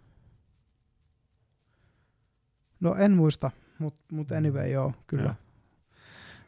Et, et, idea se tosiaan, että et, et, mm, niinku, keltä saat sen palkkas, niin sen laulut, laulut sulla on. Mm. Tai että sen, sen puolella oot. Ja no FIFA tietysti on, vaikka se on kansainvälinen organisaatio, niin, niin jalkapallo, puhutaan sports washing, washingista, niin kuin varmaan oot kuullut. En ole itse asiassa tuota kuullut. Sports washing on siis sitä, että, että niinku just No kyllä me tiedän, heti, heti, ymmärsit, mistä on joo, kyse. Joo. Ö, siitähän nyt niinku tyyppi esimerkkinä käytetään tätä kol- vuoden 36 Münchenin olympialaisia, kun Hitlerille myönnettiin kisat silloin sen Mm. vallan alkuaikoina. Olisikohan, olisikohan nyt taas tulossa 36 Münchenin olympialaista? Saa nähdä. Mutta tota, Vähän eri, eri hengessä. vähän kenties. eri hengessä kenties tässä vaiheessa siellä. Tai voi- no, onhan tässä vielä No, aikaa. 14 vuotta tässä ehtii, ehtii En- vähän en- niin kuin. Mä tiedän, mä, musta tuntuu, että niistä tulee vähän jamaakahenkisemmät kisat, jos katsoo tätä niin kuin Aa, uutta niin. kannabispolitiikkaa, mikä siellä on. Että tuota, Niin itse siellä, siellä, siellä, joo, siellä tulee kansat, kansat että sen jälkeen niin kuin, se, seuraava Hitler, niin se kyllä tyssää siihen, kun jengi vetää siellä kannabis marisäkkää ja sitten Öö, pff, ei change the channel, I, I don't wanna hear this shit. niin ja siinä käy. Tai, tai sitten se, että tulee just tämmöinen ö, ongelma, että kaikki, joita pitäisi kiinnostaa, niin niitä ei kiinnosta. Yhtäkkiä se, who the fuck is that guy shouting out there? What's happened last five years, man? Mikähän itse asiassa muuten, jos ajattelee, että Mm. nykyään niin kuin, mitenköhän vaikka jossain Kaliforniassakin tai Kanadassakin, missä Mm. on kannabis laillistettu. No siellähän on Mr. Trudeau. Mitä, mi, miksi sitä kutsuttiin? Siis tota, ää, sanon nyt, kuka oli tämä Kuuban diktaattori? Äh, siis äh, Ka- Castro. Niin, niin se on ollut Justin Castro, miksi sitä on kutsuttu. no siis mietin nyt, siis sotatilaan tarkoitettu poikkeuslaki, jolla se niin kuin kansalaisprotestin lopettaa sieltä ottavasta. Niin Ei- yllättäen sitä kutsutaan Justin Castroksi. E, e, nyt mä, va, että toisaalta vielä ei ole ollut mitään tällaisia suurempia arvokisoja ainakaan niin kuin semmoisessa maassa, missä kannabis olisi oikeasti laillista. Niin se on mielenkiintoista nähdä, että mitä sitten tapahtuu, kun... Joo, koska seuraavat jalkapallo M-kisat on Meksikossa, Kanadassa ja Yhdysvalloissa Ah, okei. Okay. neljän vuoden päästä. No sit se Toki nyt on myös pelattu tietenkin siis EM-kisoissa 2021 yksi pelipaikka oli Hollannissa ja yksi oli Espanjassa, missä molemmissa on de facto laillista mitenköhän sitten, no, onkohan Kanadassa toisaalta niin kuin alkoholitarjoilua niin kuin on, on. urheilustadioneilla? Niin mitenköhän, onkohan niihin tullut Ainakin kannabistarjoilua myös?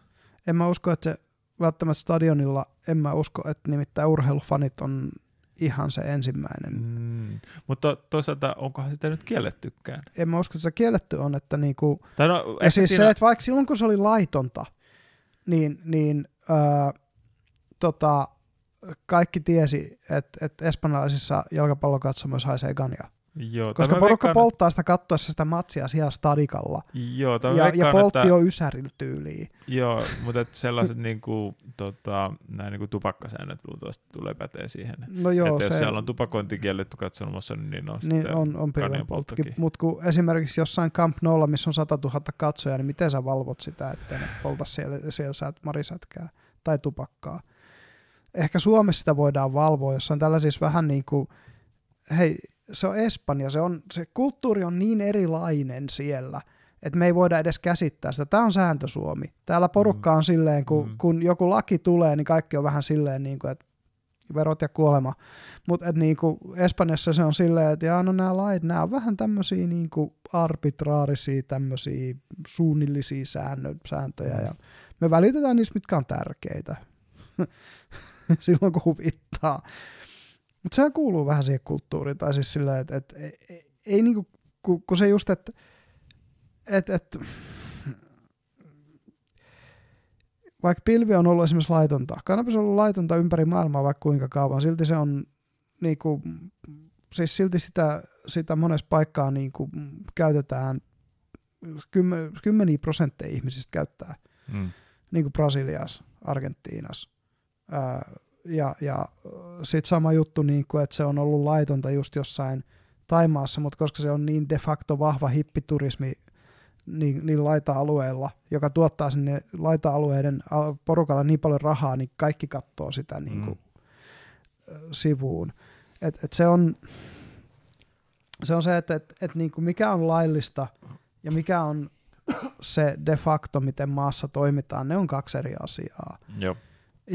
et, et, No on tota, se vähän sama Suomessakin, tota, että no just tämä, että niin kuin joku Kaisaniemen puisto, niin tota, siellä poliisit partioi, mutta kani haisee. mm, no, tai Koffin puisto, mistä löytyy neuloja joka päivä. Että, tota. No, e- no neulot on ehkä vähän eri homma. Että kyllä mä Mm. veikkaan, että jos poliisit näkeisi jonkun piikittävän. Niin Mahdollisesti menisivät väliin, joo. Niin. On se, se, se, se on vaikea sekin on vähän, kyllähän poliisi tietää, missä, missä jengi Mm. piikittää ulkona julkisesti, mutta mut monet, monet käy siis vessoissa piikittää, sehän siinä Joo. on. Ja sitten on vähän sekaisin toisaalta, että kyllä se toisaalta niin kuin suomalaiset poliisitkin tietää, että tavallaan, että nämä, ketkä polttaa pilveä, niin ne aiheuttaa vähiten niin kuin tilastojen valossa Juu, niin kuin Kyllä, kyllä. Varmasti tietää, ei ei ne niinku tyhmiä ole.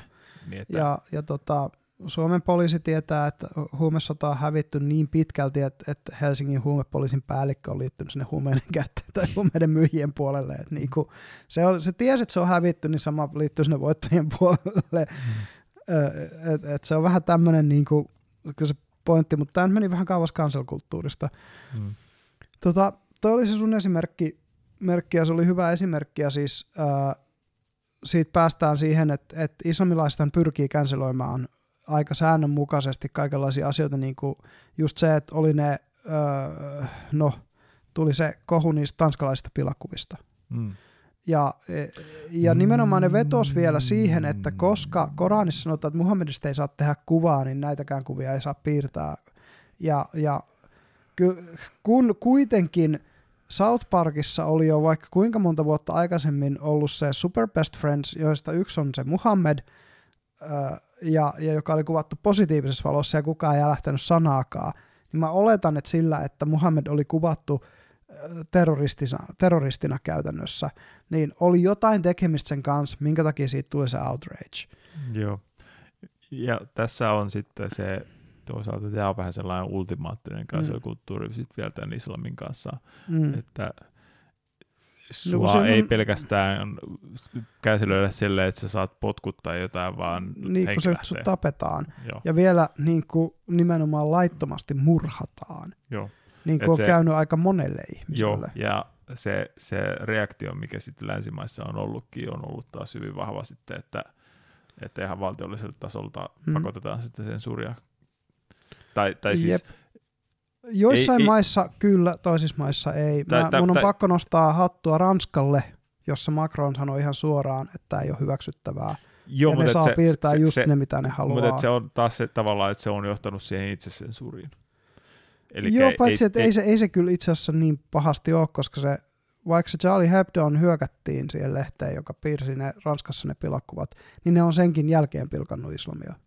Joo, mutta että eihän siellä niinku oikeasti niinku ole mitään uusia, tota, ehkä jotain joo, mutta ei ole selle, varsinkaan missään valtamediassa, niin ei ole, mm. ei ole niin kuin oikeasti ei, ollut ei siis, mitään ja... lähellekään sellaista niin kuin, niin kuin...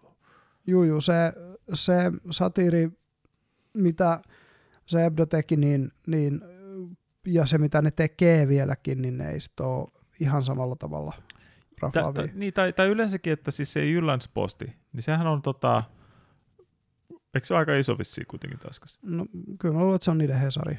Niin, että se ei, ole mikään, se ei ole mikään Charlie Hebdo siellä niin kuin niin. Suomessa joku myrkky Jep. tai, tai Jep. tota, kyllä. mikä tämä olikaan tapakkasikaan. Niin, tai Mad tai joku. Niin. Jep. Et se, se on oikeasti niin kuin selleen.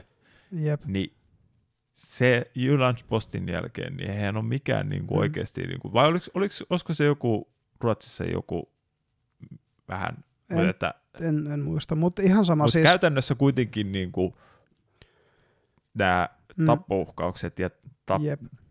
että ihmiset ja siis aidosti murha, siis aidot murhayritykset, niin, tai, mitä tai sieltä on salamurhat, että ne, ne oikeasti niin. tapetaan, niin se on Jep. johtanut siihen, voisi sanoa, niin kuin, kun, kun se ei ole sellaista toisaalta valtiollista mm. sensuuria, mm. mutta se on sellainen tietynlainen itsesensuuri, joka on niin kuin, ää... No se, siis se on just sitä pelolla pelolla, pelotte, hiljaiseksi pelottelua. Mutta se, mitä siinä kohtaa, kun tämä Jyllandsposten skandaali tuli, olisi pitänyt tapahtua, on se, että kaikki mediat olisi ottanut ne kuvat länsimaissa Jep. ja läpi länsimaiden printannut ne joka, ihan joka puolelle, koska siinä vaiheessa ei ne, voi, niinku, ne ei voi lähteä uhkailemaan kaikkia medioita kaikissa länsimaissa. Et se, se, jos me oltais, se solidarisuus olisi ollut oikeasti kohillaan, mm. niin tota, mitään, mitään niinku, toki koska kaikki pelkäs, että sit me ollaan se seuraava, jota maalitetaan, niin kukaan ei tehnyt niin. Mm. Et... Mikä, on, mikä on täysin naurettavaa, että sit me myytiin tavallaan yksi meidän perusarvo pienelle äänekkäälle väkivaltaiselle vähemmistölle, mm. vaan sen takia, että me ei, me ei niinku haluttu pitää, pitää puoliamme. Tässä tulee pieni asia siltä tuohon mm. Ukrainan sotaan, että toisaalta Venäjä luultavasti tota, toi oli yksi esimerkki toisaalta siitä länsimaiden mm. heikkoudesta, heikkoudesta jota niin kuin Venäjä katsoi, että okei, että mm. ne ei niin kuin tossakaan niin kuin mitään yhtenäistä rintaa saanut, niin kuin, että niin, kyllä. puolustaisi omia arvojaan. Jep. Niin ei ne tule nytkään niin kuin sitten puolustamaan tässä tapauksessa, että Joo, ja toisaalta, kyllä, koska, kyllä koska siis seura- seuraamukset niin... on ollut tosi synkät siitä, että me on myyty näin pahasti, pahasti nämä meidän arvot sen takia, että meillä on tämä pieni äänekäs tai, tai, siis, tai kun siis ne on, ne on vähän niin kuin sellaiset kun se on vielä vähän niin kuin, se on vähän niin kuin vähemmistön vähemmistö vielä, ymmärrätkö? Että niin kuin, kun siis iso osa moderaateista muslimeista juo kaljaa mm. ja, ja niin kuin saattaa syödä sianlihaa ja, ja niin kuin ei niitä kiinnosta ne semmoiset jutut. Mm tai vähintäänkin niin kuin se, että ne ei pukeudu perinteisesti, vaan ne pukeutuu jo länsimaisesti, ja, ja myös niin kuin naiset ja, ja tytöt. Ja, ja niin kuin, että se, se että, että sit se, se, mutta se näkyvin vähemmistö on se, joka pukeutuu sille perinteisellä tavalla ja pitää melua siitä, että heitä ei saa. Mutta niillä on ehkä se, se toisaalta, että sitten kun ne kohtaa jonkun fundamentalistin, mm. niin sitten ne tota, pelkää sitä reaktiota ja sitä kautta toisaalta niin kuin sitten ää, näyt, pyrkii näyttämään sit sen, sen... Niin tai siis ne ei, mitä se sanoisi, niitä ei kiinnosta itseään vastustaa sitä niin kuin siinä omassa vähemmistössä niin pitkään, kun ne fundamentalistit jättää ne rauhaan, niin ne jättää ne fundamentalistit rauhaan. Se on vähän niin kuin tämmöinen mm. aselepo. Mutta se on vähän sama juttu, kun sosiaalidemokraatit jättää kommunistit rauhaan, niin sitten kommunistit jättää sosiaalidemokraatit mm. rauhaan. Ja toisaalta sama jossain kristinuskon sisälläkin. Että, mm, kyllä, että niin kyllä, kyllä. Et, et, toki aikanaan siinä, siitä on sodittu verispäin, että onko protestantismi vai katolismi, katolilaisuus oikea tapa. Mm. Mutta niinku nykypäivänä silleen, että ei, ei, niinku, ei, ei Suomen Evlut-kirkko käy vaikka Suomen katolista kirkkoa niinku arvostelemaan. Mm. Tai Suomen katolista kirkkoja on olemassa, mutta katolisen kirkon Suomen haaraa. Ei ne käy arvostelemaan sitä. Eikä katolinen kirkko arvostele meidän valtakirkkoa. Mutta mut ehkä siihen, mihin me tarkoitan enemmän, on vähän mm. niin kuin se, että tavallaan puhutaan pienemmistä piireistä. Että jos ajattelet tällainen, että ö, ajatellaan, että ö, sä olisit tämmöinen mm. erittäin maallinen kristitty, mm.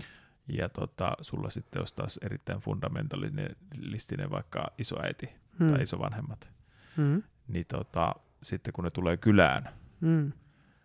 niin sulla ei olisi, tai sulla olisi tavallaan luultavasti vaatetus sellainen, mitä ne kenties odottaisi niin sanotusti kunnon kristityllä, ja sulla olisi niin kuin kämppäkin, että sulla olisi niin kuin kaikki sellaiset niin kuin maalliset jutut ehkä piilotettuna tai jotain, että sä haluat kuitenkin en, näyttää... En, en, en tiedä, onko, no- onko, onko noin oikeasti enää.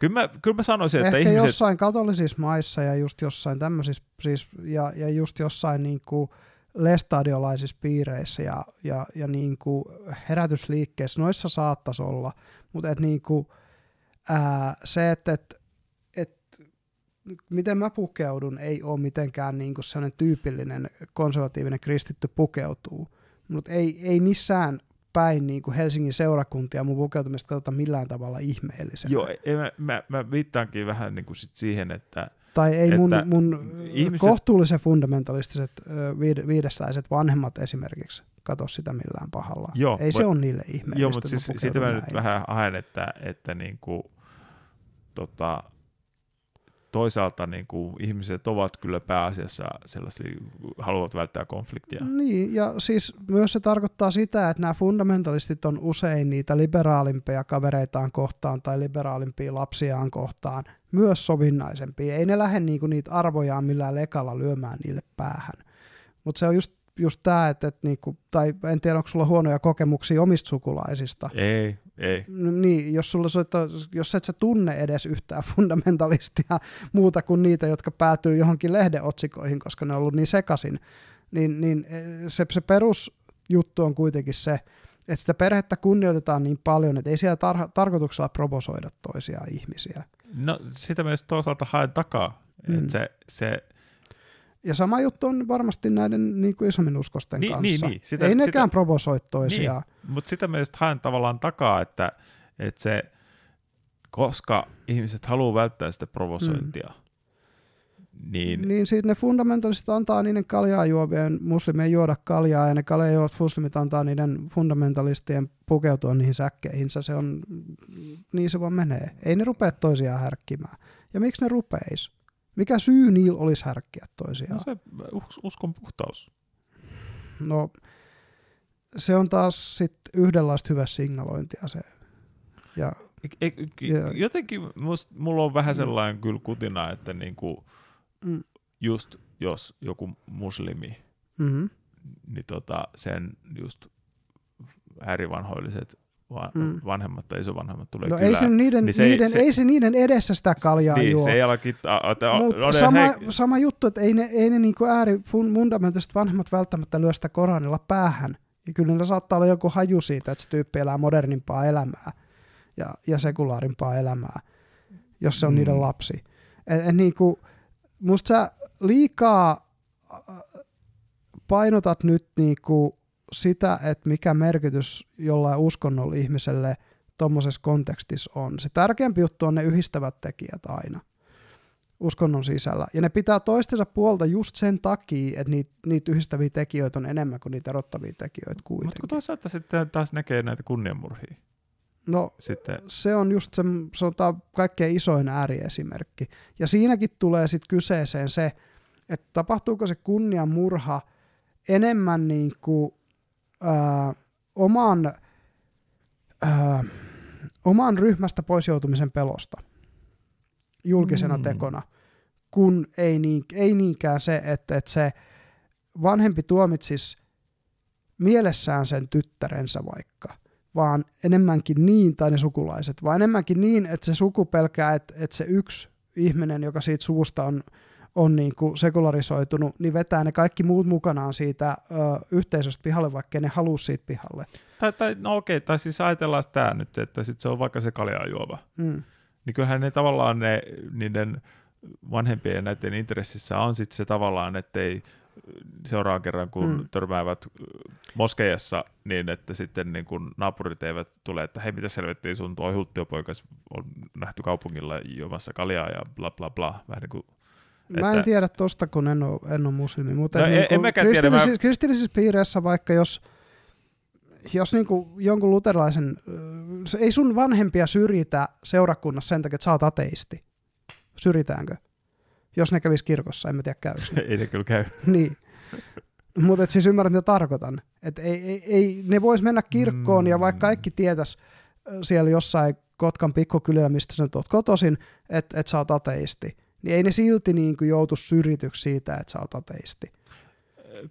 Kunhan, mä veikkaan, No, Okei, jos ne tai- tai kuuluisi se- johonkin lahkoon tai johonkin herätysliikkeeseen, se voisi olla eri asia, mutta kun Mm. ei ne todennäköisesti kuitenkaan kuulu Joo, vallan joo, valtavirtaa.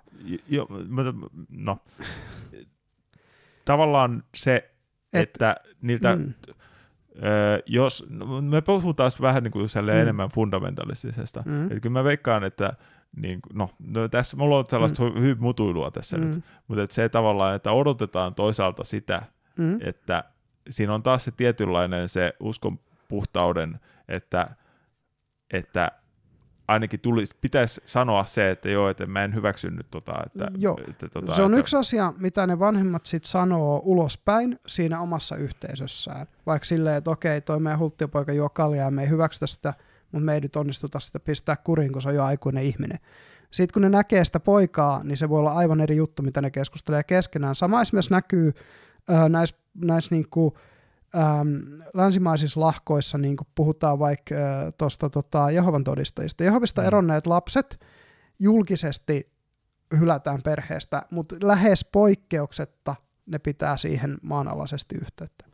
Lähes poikkeuksetta ne vanhemmat on, on sen kanssa normaalissa kontaktissa salaa. Mä taas on hyvin pitkälti kuullut, että, että ne Siinä myös on niinku- niitä on, jotka ei tee niin, mutta mut ne on ne, ne tapaukset, mitkä päätyy julkisuuteen, on niitä tapauksia. Mm, jossa ne vanhemmat on myös ö, yksityisesti hylännyt sen lapsen. Mutta koska pääosa niistä tapauksista ei päädy julkisuuteen, mm, you know, en voi sen häihin mennä, jos se menee vaikka luterilaisessa kirkossa naimisiin entisenä Jehovana tai, tai johonkin lasten kasteelle tai, tai, tai jos se on ateisti, niin ei voi mennä sinne maistraattiin sen häihin, koska se ei mennyt Jehova häissä naimisiin ja näin. Mutta sitten ne saattaa kuitenkin vaikka lähettää sille onnittelukortin tai, tai jotain salaa kautta pistää sen sille menemään ja muuta. Et kun, kun on muutaman ex-Jehovan tiennyt yhden, yhden mun opiskelukaverin, tota, niin, niin mä menikö ne naimisiin, ainakin ne oli kihlois, niin se oli ex-Jehova. Ja kyllä sen niin kuin vanhemmat piti siihen yhteyttä just salaa. Mm, Että ei ne julkisesti, ja julkisestihan se ei voinut esimerkiksi tavata niitä sen, sen anoppia ja appiukkoa, koska, koska tämä, se, siis ex-Jehova menee niin kuin ei-Jehovan kanssa naimisiin, on ihan hirveä juttu niin kuin siinä yhteisössä. Mutta siinä on just se ongelma, että kun ne haluaa kuulua siihen yhteisöön, mutta ne yhtä aikaa haluaa pitää sitä perhe, perheyhteyttä, niin, niin se on tietysti konflikti-intressi, ja ne yrittää sitten, kun ihmiset yrittää tällaisessa tilanteessa, kyllähän ne luovii niin kuin mm, mm. luovii, kaikkihan me luovitaan näissä tilanteissa, niin kuin yritän pitää se tavallaan parhaamme.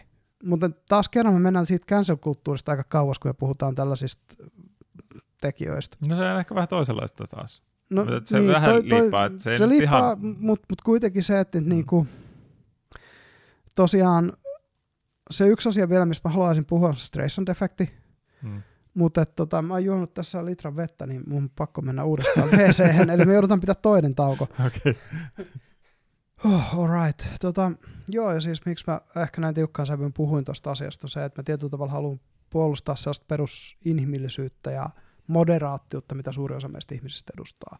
Mhm. Et niin kuin, me kuullaan kunniamurhista, mutta nähden siihen, kuinka isoja vaikka niin kuin, öö, islamilaiset vähemmistöt on, on Britanniassa ja Ranskassa ja Saksassa, niin siihen nähden niitä kunniamurhia tapahtuu todella vähän No, ja todella Mut- harvoin. no joo, mutta se on vähän niin kuin yksikin on liikaa. Joo, no kyllä. Mut, mut sen, mä vaan halusin niinku sen takia sanoa, että se on ääriilmiö. Totta kai niinku, ihan sama, mistä niinku, murhaamisesta puhutaan, niin yksikin on liikaa. Yksikin psykopaatin tappama ihminen on liikaa, joo kyllä. Mutta et ymmärrätkö, mitä tarkoitan se, että niinku, se, että ne on, äh, ne on bad apples siinä porukassa. Ja kuitenkin, kun katsotaan, katsotaan sitä niin kuin isoa kuvaa, niin suuri osa ihmisistä oli ne melkein minkä uskonnon, uskonnollisia ihmisiä tahansa, niin ei vie mitenkään noin äärifundamentaliseksi sitä, ellei ne kuulu sitten johonkin kulttiutuneeseen osaan sitä uskontoa. Mm, Mutta mut nämä ei ole pääasiassa mitään psykopaatteja toisaalta, jotka niin kun niitä kunniamurhia tekee. Musta olisi hyvä kyllä tutkia niiden mielenterveys, toivottavasti se tutkitaan täällä länsimaissa. No siis, siis sehän nyt on, että tota, tai no okei, olisiko tämä Hitchensin lainaus vai miten se on, Mm. mutta että kuitenkin vähän niin kuin, että uskonto tai joku uskonnon kaltainen on vähän niin kuin sellainen, Mm. mä en tätä lainausta muista kyllä oikein, mutta että just, Mm, että mm. yksi näistä harvoista jutuista, mikä saa Mm, hyvän mm. ihmisen toimimaan tai tekemään jotain pahaa. Mm, Joo, Mm, o- olen huomannut. Ateismi on tehnyt sitä kommunismin muodossa sadoille miljoonille ihmisille. Että Ei, ter- ei. tervetuloa joukkoon. No taaskaan, siis kommunismi on kommunismi, ateismi on ateismi. Kommunismi on Niillä ei yksi ateismin muoto. toisesta. No, Kyllä. no. Se oli Marx, joka sanoi, että nimenomaan oli hyvin ateistinen ihminen ja sanoi, että, että uskonto on opiaattia massoille. Mutta mut et sä nyt Ja- taas ja- Marksista, siis, siis, siis, ko- siis, siis kommunismi ja marksismi tai ateismi, ateismi on, oli yksi niistä asioista, jotka ajoi Marxia nimenomaan luomaan kommunismia. no se, vaikka näin olisi, niin Mm. kommunismi on silti oma ideologiansa. Kyllä. Mm. samalla tavalla kuin mikä tahansa ö, uskonnollinen näkemys jonkun uskontopiirin sisällä oma ideologi tai oma uskontonsa. Niin, niin se just, että, että jos sä haluat niputtaa, että uskonto pistää ihmiset tekemään murhia, niin mä voin ihan samalla logiikalla sanoa, että ateismi pistää ihmiset tekemään murhia. Et, et, se, se, se, et, sä, et voi, niin kuin, sä et vaan voi vetää tätä, koska, koska niin kuin ne tekijät, jotka siellä taustalla vaikuttaa, on todennäköisesti huomattavasti Sano yksikin ateismin opinkappale, joka saa jonkun tekemään murhan. No, mitä se meni, että tarvitaan prole- proletariaatin diktatuuri, että voidaan päästä kommunistiseen Ei, ihannevaltioon. Ei, sano ateismin No, opinkappale. on ateismi opin kappale. Ei, Sun pitää ounata se, että sä kuulut samaan joukkoon näiden kommarien kanssa, jos sä haluat olla ateisti. ei, koska mä en kuulu samaan kategoriaan. Se on ihan puhtaasti sun oma näkemys. Mutta hyvin monet meistä Tä- niputtaa sut siihen okei, samaan Sano, kategoriaan. sano yksikin ateismin opinkappale. No, no siinähän se oli. Ei, ei, ei. Enempää tarvii sanoa. No, Tämä on kompa kysymys, koska ateismilla ei ole opinkappaleita. Mm. Mm. Paitsi niitä on vaikka kuinka paljon. Ei. Ne on vaan erilaisten just tällaisten niin kuin sekulaarien ja, ja ateististen ideologioiden muodossa.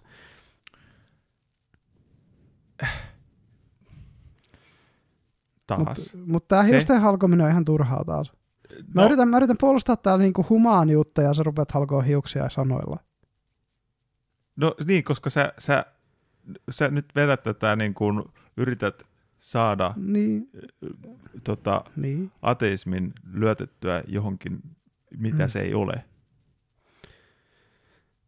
Niin, no sanotaan näin, että, että sit jos me puhutaan, puhtaasti ateismista, niin sehän ei, sitähän ei ole olemassa koko juttua. Mutta et, et niinku, ei semmoista ismiä ole olemassa. Mutta et No, niinku, no, no niin, siis joo, koska, tai siis, siis tai siinä koska, mielessä, koska siis se ei ole, si- sitä ei voi samalla tavalla määrittää ideologiana, se on niinku negaatio. niin, se on ideologian negaatio. Niin. Mm.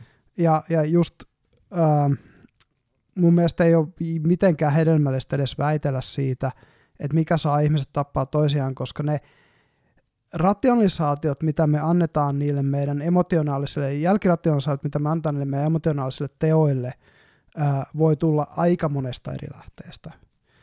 Ja Joo, osa että- niistä lähteistä on sekulaareja ja ateistisia, niin kuin kommunismi. Et, et niin kuin, Siis, okei, okay, siis Samalla voit, tavalla, kun ihminen voi rationalisoida sit jonkun Koranin pätkän tai jonkun, jonkun vaikka vanhan testamentin pätkän ja sen perusteella rationalisoida jälkikäteen sen emotionaalisen teon, joka johti murhaamaan jonkun toisen mutta ei, ihmisen. ei, siinä ole mitään, ei siinä ole mitään tota, Niin tavalla rationalisointia edes. Jos raamatussa sanotaan, että homo pitää kivittää, niin se, että joku kivittää homon, niin sehän tulee suoraan, siinä ei ole mitään rationalisaatiota siinä. Et se on niin kuin Jumalan käsky. No kun se ei ole, se on, tai voi, joku voi tulkita näin, että se on Eh, Jumalan käsky. Se, no, Okei, okay, joo. Niin. Siis, Joku voi Mut- tulkita sen, että, että se kohta raamatussa, missä noin puhutaan, on, on suora Jumalan käsky. Joku toinen voisi olla se, että no hei, se on vanhaa hebrealaista lainkäytäntöä, etenkin kun se löytyy mun mielestä vielä jostain kuninkaiden tai tuomarien kirjoista, mitkä oli tai tässä on, lainkäytännön. tässä on siis oikeasti se jo, että se, se, se on fundamentalistinen tulkinta, että joku raamattu on Jumalan sanaa kokonaan. Ja silloin se, jos raamattu on Jumalan sanaa kokonaan, niin homojen kivittäminen on Jumalan käsky. Mm. Okei, okay, joo, mä tiedän, ihmiset vetää tuollaisia rationalisaatioita. Ei, se- ei se ole mikään rationalisaatio, sehän on, on, sehän on, on. Niinku suoraa seurausta. Mä en nyt väittele sun kanssa tästä yhtään tämän enempää, koska tämä ei liity tähän jaksoon. Mä vaan yritän puolustaa täällä nyt niin sitä, että ihmiset on ö, komplekseja, humaaneja olentoja ja sä yrität puhua semantiikasta ja kielipelejä. Niin Mä en nyt oikeasti jaksa puhua tästä. Mut nyt, koska, mä, nyt koska mun taas loppuu. on pakko puolustaa taas sitä, että, että niinku sä, sä yrität niinku heittää esimerkiksi mut Mm. johonkin niinku murhahimoisten kommunistien niinku kanssa samaan syssyyn. niin. Ihan samalla tavalla, kun sä yrität, yrität tehdä uskonnollisille ihmisille tätä samaa ja pistää meidät kaikki samaan joukkoon. Niin, niin siis mä vaan näytin sulle, kuinka absurdi sun esimerkki oli tässä tapauksessa. Ei. Et niin kuin osa tätä niin kuin sekulaaria tämmöistä niin kuin opinkappaleen joukkoa on kommunistien manifesti, jossa pyydetään tekemään proletariaattia tekemään porvareista sylttyä. Onko se koskaan kuullut sana sekulaarihumanismi Ö, juu, tai sanaparia? kyllä. Tiedän, että oksymoroineita on olemassa. Mutta en mennä siihen ihan oikeasti, koska tämä on, ihan turha, tämä on aivan täysin turha ja vielä tähän jaksoon liittymätön keskustelu. En- Puhutaan en- se Streisand efekti ja lopetetaan tämä jakso, että mä pääsen syömään, Joo, koska joo. mulla on nälkä ja mua vituttaa. Joo, mä, mä sanoisin ton, mä, mä oon pakko vaan sanoa siis se, että, että niinku, äh, no nyt mulla hukkas ajatus taas. Hyvä niin. Kannatan tätä. Hukkaa lisää ajatuksia, No ihan sama, no mennään nyt sitten. koska musta tämä on ihan turha keskustelu. Mä oon silleen, että miksi sä edes jaksat jankata tästä. Se on ihan yhtä absurdia No, no, sanoa, että tota, No, se, se, se, että joku uskollinen ihminen hakee jonkun tommosen raamatun, kun hän sen perusteella tappaa jonkun, kun se, e, e, mä, mä voin ihan samalla tavalla vetää ton, että joku ateisti lukee kommunistisen manifesto ja sen perusteella tappaa jonkun. Se on aivan siis, se on ihan yhtä niin kuin, niin kuin yhtä pitkä tavallaan aasinsilta tai yhtä lyhyt, jos sä haluat sanoa sitä lyhyeksi. Ne, ne, se, se, se, molemmat on rationalisaatioita sille, että teki jotain, jotain niin kuin, e, e, e, mi- mikä tossa, on tossa taas se, että siis se, voisi, se, se, se kristitty, voi, kristitty voi lukea vaikka kommunistisen manifeston ja sieltä Mm. vetää sen. Mm, Ei sillä ole mitään tekemistä ateismin kanssa kommunismilla. Joo, mutta kristitty, niin kuin minä, joka olen lukenut kommunistisen manifestin, oli vähän silleen, että no, joo. Niin, sä oot yksi kristitty, joka voi Mm. tuon... Mutta anyway, anyway, eh, kun siis äh, krist, sanotaan, että on vasemmistolaisia kristittyjä, joo, joo, joo. Äh, ja on, mikä se on liberaatioteologia, mikä katolilainen tällainen kommunistinen teologian haara. Niitä on olemassa, mutta nekin on taas just tällaisia niin kuin ääriryhmittymiä jossain vitu viidakossa. Mutta mut ihan sama, koska musta tämä keskustelu on turha. No niin, mennään, mennään, mennään. Mennään eteenpäin.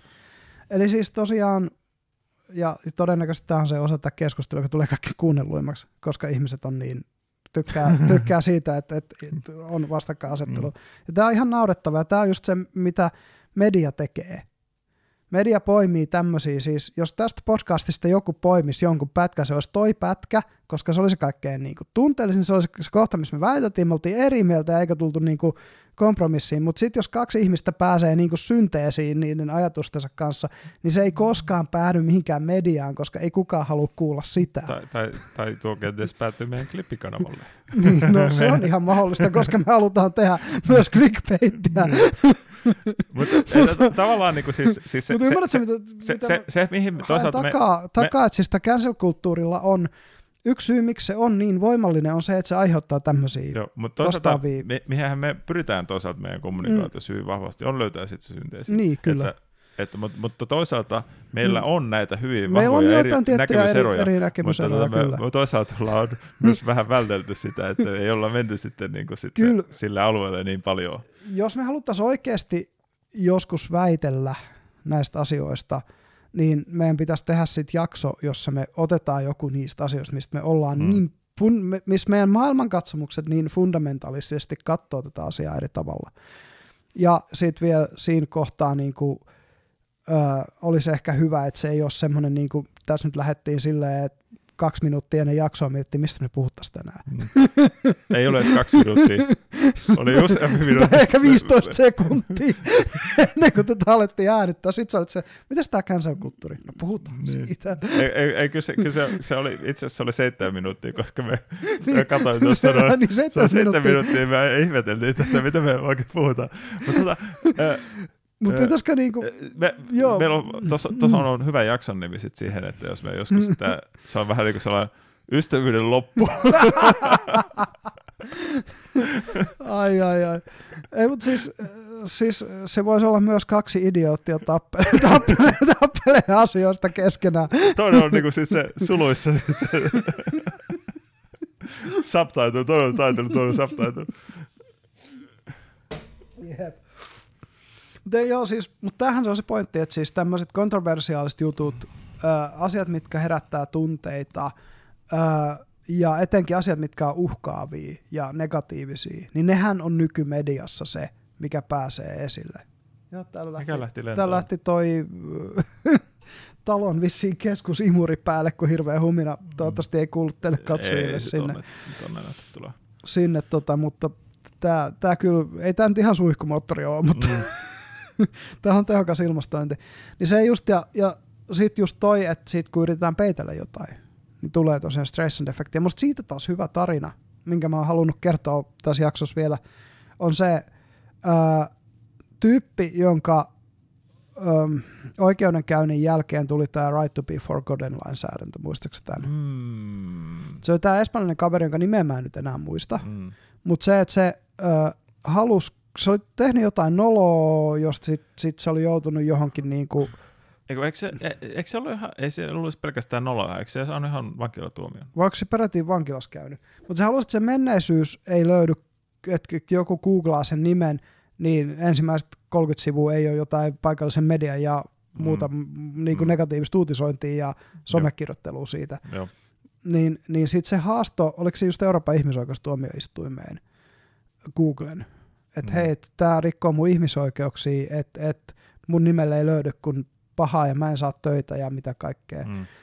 Ja sitten se, se että eikö, eikö, hänellä, niinku, eikö näillä teoilla ole oikeus tulla unohdetuiksi. Mm. Että et Googlen pitää sanitoida se negatiivinen sisältö sieltä mun Google-hausta. Ja, ja niin kuin tietysti se, että nyt kaikki, en mäkään sitä nimeä enää muista, mutta kaikki tietää tämän tarinan nyt, jotka mm. yhtään seuraa tätä, äm, tätä uutisvirtaa. Mm. Eli se, se stressant-efekti, kun haluat tulla unohdetuksi tai haluat, joku asia susta unohdetaan, niin silloin siitä kannattaa pitää suu kiinni mahdollisimman tehokkaasti ja mahdollisimman paljon. Tuossa on kyllä sellainen, sellainen mielenkiintoinen pointti toisaalta, että niin kun, Mm. jos me ollaan tai uskotaan siihen, että tavallaan vankilatuomio Mm. tai Mm. mikä, mikä tahansa tuomio saadaankaan niin kuin oikeusistumesta, niin sanotusti hyvittää meidän synnit. Mm. Jep. Niin sitten tavallaan siitä on tuo seuraus, Mm. että, että tavallaan pitäisi päästä niin kuin unohdetuksi olla Jep. siinä mielessä, että Tai just se, että, että niinku pitäisi katsoa, että se velka yhteiskuntaa kohtaan on maksettu, kun se rangaistus on kärsitty. joo, näinhän ei käytännössä ole Jep. koskaan, mutta että Mutta tähän, tähän meidän oikeuskäytäntö pohjimmiltaan perustuu, ja Joo. tähän on tietysti sanottava kristillinen periaate, että kaikilla ihmisillä on mahdollisuus tehdä parannus. mm, Se englanninkielinen on se redemption, niin kuin, Mm. no, eikö se parannus ole aika parannus on aika, sinne? joo, jos sillä on suomen kielessä paljon enemmän myös näitä niin kuin, muita, niin, muita ku- niin kuin merkityksiä, mm. että se, Mm. mutta, mutta se joku muukin sana sille on suomen kielellä, kielellä mutta anyway se just, että, että, että sit sut kelpuutettaisiin taas niin kuin täysivaltaiseksi yhteiskunnan jäseneksi. mm, Ja kyllähän se niin kuin on selvää, että nykypäivänä yhtään kompleksimpaa hommaa, etenkin jos palkkaat jonkun, niin kyllähän sä googlaat, kuka tämä kaveri on, mm. että Mm. onko siitä mitään. Niin, niin jos, jos tuommoinen tyyppi hakee töitä vankilasta vapautumisen jälkeen ja sitten paljastuu, että se on tehnyt jotain ikävää. Mä en edes muista, mitä se oli tehnyt enää. mm. Mä itse asiassa muistelisin, että se olisi ollut joku seksuaalirikos. Voi olla, joo. Et, et.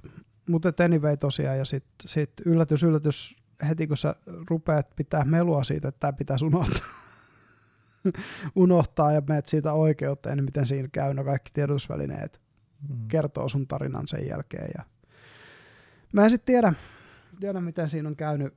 käynyt. Sehän meni, siitähän tuli joku lainsäädäntö, että meillä on oikeus hallita meidän omaa dataa. Joo. Dataa me saadaan pyytää käsittääkseni Se on- kaikki tiedot siitä, se on mitä tota- meistä on. Mä en ole varma, tuleeko se laista vai mitä on, mutta esimerkiksi Facebookista, niin sulla on ainakin kerran vuodessa mahdollisuus lataa kaikki sun data. Joo, Ja se on ihan vitusta. Se on, joo, sitä on paljon. se on kyllä. niin kuin gigatavuista puhutaan niin Joo. kuin ihan Juu. peruskäyttäjällä. Että Ja jos siis- ajattelee, että jos joku influenssari, niin se varmaan että voisi se mennä peräti niin kuin, kuulosta, että se peräti kuuluisi siis GDPR-lainsäädännön piiriin, sen Mun direktiivin mielestä se tuli jo ennen GDPR. Voi olla, että se on ollut jo niinku, aikaisemmin, joo. Että, että Facebookista pitää saada ladattua. Niin GDPRhän oli nimenomaan siitä, että sulla on datan, sun oman datan käsittelyyn niin kuin oikeus puuttua. Joo. Että just se, että sä saat, saat ne tracking cookieet blokata ja muuta sen sellaista. Joo. Sehän tuli sen mukana. Joo. Ja Tossa- sitä, mutta toi on varmaan ollut jo sitä ennen, että sun pitää tietää, että mitä susta käsitellään ja missä. Mä en muista, mikä se oli. Tota, Mm. joku kommentoi tuosta negatiivisesti just jossain Mm. podcastissa muistaakseni tuosta GDPRstä, että joo, että sen seurauksena me vaan saatiin ärsyttävät laatikot tänne näin. Niin, joo, Mm. mm. mutta se laatikoiden ärsyttävyys on tota, hyvin pitkälti tavallaan niin kuin näiden yritysten tavallaan Mm, vihamielistä Niin, kyllä. tavallaan tapaa toteuttaa se, tai Niin, niin kuin se on malicious tapa. compliance. Just, just, se joo, on sitä malicious malicious compliance. compliance. Eli siitä tehdään se, että, just, että jos sä haluat oikeasti niin kuin päästä eroon niistä, mm. Niin sä joudut kliksuttelemaan sen minuutin. se, niin, tai sitten jo, jotkut saitithan käyttää sitä estä kaikki. Joo, se, se on pääasiassa Yahoo tota ainakin, niin on kuin, tähän mennessä ärsyttävin, mikä on tullut vastaan. joo, Siinä voit hyväksyä kaikki tai mennä valintoihin, jolloin se vie sut erilliselle nettisivulle, jos niin kuin, niin, siis ihan oikeasti sun pitää suunnilleen niin mainostaja kerrallaan klikata se. joo. Niin sen takia mä en enää käy Yahoo. Joo, tai mä, mä, Itse asiassa nyt, nyt Ghostery add-oniin tuli tämmöinen autorejekti. Automatically re- reject all cookies, joka, mm. joka automaattisesti painaa sitä re- reject-nappia, tai siis eihän se paina sitä nappia, vaan se on siihen apiin suoraan. joo. Et kun sieltä tulee se cookie pyyntö, niin se lähettää vaan sen reject-signaalin niille kaikille. Mä nykyään vaan pääsääntöisesti nämä tota, vähän niin kuin tuntemattomat saitit, millä mä pääsyn Googlesta Mm. niin kuin, tota, uudessa private-välilehdessä, mm. Niin sitten mä voin vaan painaa sen helpon napin, joka hyväksyy kaikki, Mm. joka on siinä aina Ja, Niin, koska se pyyhkiytyy pois private browsingissa kuitenkin. Jep. Et sitten kun mä suljen sen, sen ikkunan, Sen niin se on ikkunan, siinä. niin se on siinä. Jep. Sitten sit, se, se, on tapa, tai se, siinä on vähän se ylimääräinen ärsyttävyyskerros. Mm. Että Mutta on kiva, kun se ikkuna vaan häviää automaattisesti ton coasteri, coasteri privacy blokkeri. Mm, Itse asiassa avulla. pitää varmaan hommaa tuolla. Sitten tsekkaa, tsekkaa coasteri, siis Sofire Foxin addoni. Joo, joo. Ja, tota, on, on, on ollut pitkään jo mulla siis käytössä, mutta nyt se tämä ominaisuus on tullut ihan tyyliin. Ja Joo, mä olisiko peräti tällä viikolla. Viikolla tuota. Mutta anyway, ähm, no toi, toi tota, äh, miten sanoisi, toi datan käsittely ja kaikki siihen liittyvä ja tämä niinku big data ja muu, niin siitäkin me voitaisiin jossain vaiheessa tehdä jakso, koska se on oikeasti siis datatalous on aivan hulvattoman kokoinen osa meidän ekonomiaa nyky, nykyyhteiskunnassa. Tiedän, koska minähän... Sinähän sitä teet. Mm, en ole ihan siellä big Niin. datan puolella, mutta kuitenkin Jep. vähän niin kuin voisi sanoa datatalouteen. Niin, kyllä, kyllä, kyllä. Mutta anyway, niin, niin siis ehkä toi, toi musta on niinku toi right to be forgotten lainsäädäntö ja sitten se stress and defecti on, on sellainen cancel-kulttuuri, että ne myös niinku sit, että eihän Jordan Peterson esimerkiksi olisi noussut konservativismin tähdeksi, jos nimenomaan sitä ei olisi alettu moppaamaan sen jälkeen, kun se siellä Kanadan parlamentissa vastusti sitä yhtä lainsäädännön palasta, Mm. Sen compelled speech-periaatteen, niin kuin pakotettu, pakotettu puhetapaperiaatteen rikkovaa lainsäädäntöä. Kyllä se on, se on nämä, tavallaan niin kuin nämä ylilyönnit. Mm. Ylilyönnit tavallaan siinä känselöintiin pyrkimisessä Mm. on johtaneet hyvin niin kuin vahvasti sitten näiden joidenkin tiettyjen hahmojen nousuun. Että tota, Ja Peterson tietysti psykologian professorina ja kliinisenä psykologina on henkisesti vahva ihminen, joka on tehnyt paljon itse tutkimustyötä. Ja sekin joutui tosi, siis sekin oli sitten kuitenkin siinä benzo, benzo Joo, tota, tai no, sehän, on, lääkityksellä sehän on ollut masennuksen, Mm. mm. mitä se on kertonut, että se on masennuksesta kärsinyt tylin koko elämänsä. Jep, Että- niin to, tommonen, tommonen määrä sit negatiivista julkisuutta siihen päälle, niin on varmasti ollut rankkaa. Mutta siis se, että et Petersonilla on se, sen jälkeen tietyllä tavalla tullut myös se julkisuuden tavallaan suojaava puoli, että sillä on paljon puolesta puhujia. Mutta pahimminhan se iskee tällaisia ihmisiä, niin kuin se, se ihminen, josta me kerrottiin siinä ihan alussa, josta, josta on se Ron Johnsonin se, se tota TED Talk. Et, et kun se on tavallinen ihminen ja sillä mopataan lattioita, niin, niin kuin, kun, kun sille ei ole niitä puolesta puhujia, pahimmillaan tosiaan kaveripiiri kaikkoa, kun ne ei halua olla. Se on, siitä tulee niin toksin, että ne ei halua olla sen Joo. kanssa tekemisissä. Tota, Ja- tosta, Näin, vähän että- niin kuin... Peterson tavallaan kaivo kuitenkin verta nenästään lähtemällä vastustaa sitä. No ainahan Sa- se on val- tavallaan, tavallaan niin kuin siis, tai, tai kun, Mutta kun monet Se- ihmiset joutuu siihen tilanteeseen, ei sen takia, niin kuin, se, että mä ymmärrän, että jos, jos, jos mua rupesi joku vasemmistolaiset nyt tässä vaiheessa pommittaa jossain Twitterissä sen takia, että mä puhun tässä podcastissa tämmöisiä kuin mä puhun, mä ymmärtäisin sen, koska mä oon itse tuonut ne asiat tälle esille. Mutta se, että, jos joku vaikka heittää se yhden twiitin vahingossa, joka on tulkittavissa loukkaavaksi, vaikkei se haluaisi, että se, niin kuin, vaikka se ei, se ei niin kuin, koskaan ole tehnyt mitään, mikä viittaisi siihen, että se ajattelisi vaikka rasistisesti, niin tämä, ensimmäisen öö, niin kuin, öö, twiitin tavallaan se, se tyyppi, niin, niin kuin, se, sehän siinä on se paha, kun, kun se tuhoaa tavallisten ihmisten elämiä. mm, mutta että tavallaan vähän niin kuin, että periaatteistaan ja arvoistaan kiinni pitäminen, Mm. ei se ole ilmasta. Ei, ei, ei. Mm. Ja, mutta se, että siis kun suurimmalla osalla ihmisistä kuitenkaan ihan suoraan sanottuna ei ole vahvoja henkilökohtaisia periaatteita. Mm. Tai- ne haluaa tai- kuulua johonkin laumaan. Tai yksi, yksi on, mikä on, että vapaus on ilmasta. Ei, ei missään nimessä. Se, se, se näkyy hyvin vahvasti nykyään Juu, niin kuin maailmantaloudessa. ja monessa muussakin asiassa. Mm. Siis ihan No, oikeasti niistä siis perusvapauksista, sotaan. no, no se tietysti, mutta siis ihan perusvapauksista kiinni pitäminen tavalliselle ihmiselle nykypäivänä. Mm. Ja, ja usein, no, no Ukrainassahan sitä maksetaan nyt verellä Mm, Kyllä, siitä- kyllä. siitä vapaudesta. Jep. Ja se on ollut hyvin tyypillinen niin kuin hinta vapaudella se, se On, on. ver, veri. Miten se meni se Thomas Jeffersonin, kun se on se kuote, ja se sanoi just, että muutaman sadan vuoden välein, niin se pitää niillä patriottien verellä se vapa- vapaus uudistaa. Hmm. vallankumouksen kautta, koska yksinkertaisesti muuten se ei vaan niin kuin pysy, pysy voimissa, että se, sitä vapauden puuta pitää ruokkia sillä patriottien verran, jotenkin näin se meni. Hmm. Tai lannuttaa siis. Mut, en ihan varo pystyisin mä allekirjoittaa tota. En mäkään, mäkään en tiedä, pitääkö se edetenkään enää paikkansa, mutta mut se on todennäköisesti pitänyt silloin, kun nämä ensimmäiset isot vapauden aallot oli, oli, eli Ranska ja Yhdysvaltain vallankumoukset. Ja sitten tietysti otetaan huomioon, että sitä ennen oli ollut se englantilainen parlamentarismi Cromwellin aikaa jo 1600-luvulla. Että aina kun näitä on tullut, nehän on sitten murskattu. Mutta se just, että et ilman sitä, että siellä olisi verta vuodatettu, niin niitä ei olisi koskaan syntynyt eka, eh, in the first, first place. Hmm. Mutta et, et tosiaan, niin, niin, niin ja, ja toi cancel-kulttuuri, niin siis kautta historianhan on ollut aina jonkunlainen, just se Overtonin ikkuna, tietynlainen zeitgeisti. Hmm. Ja sen ulkopuolelta tulevia ideoita on ammuttu alas aina. Hmm.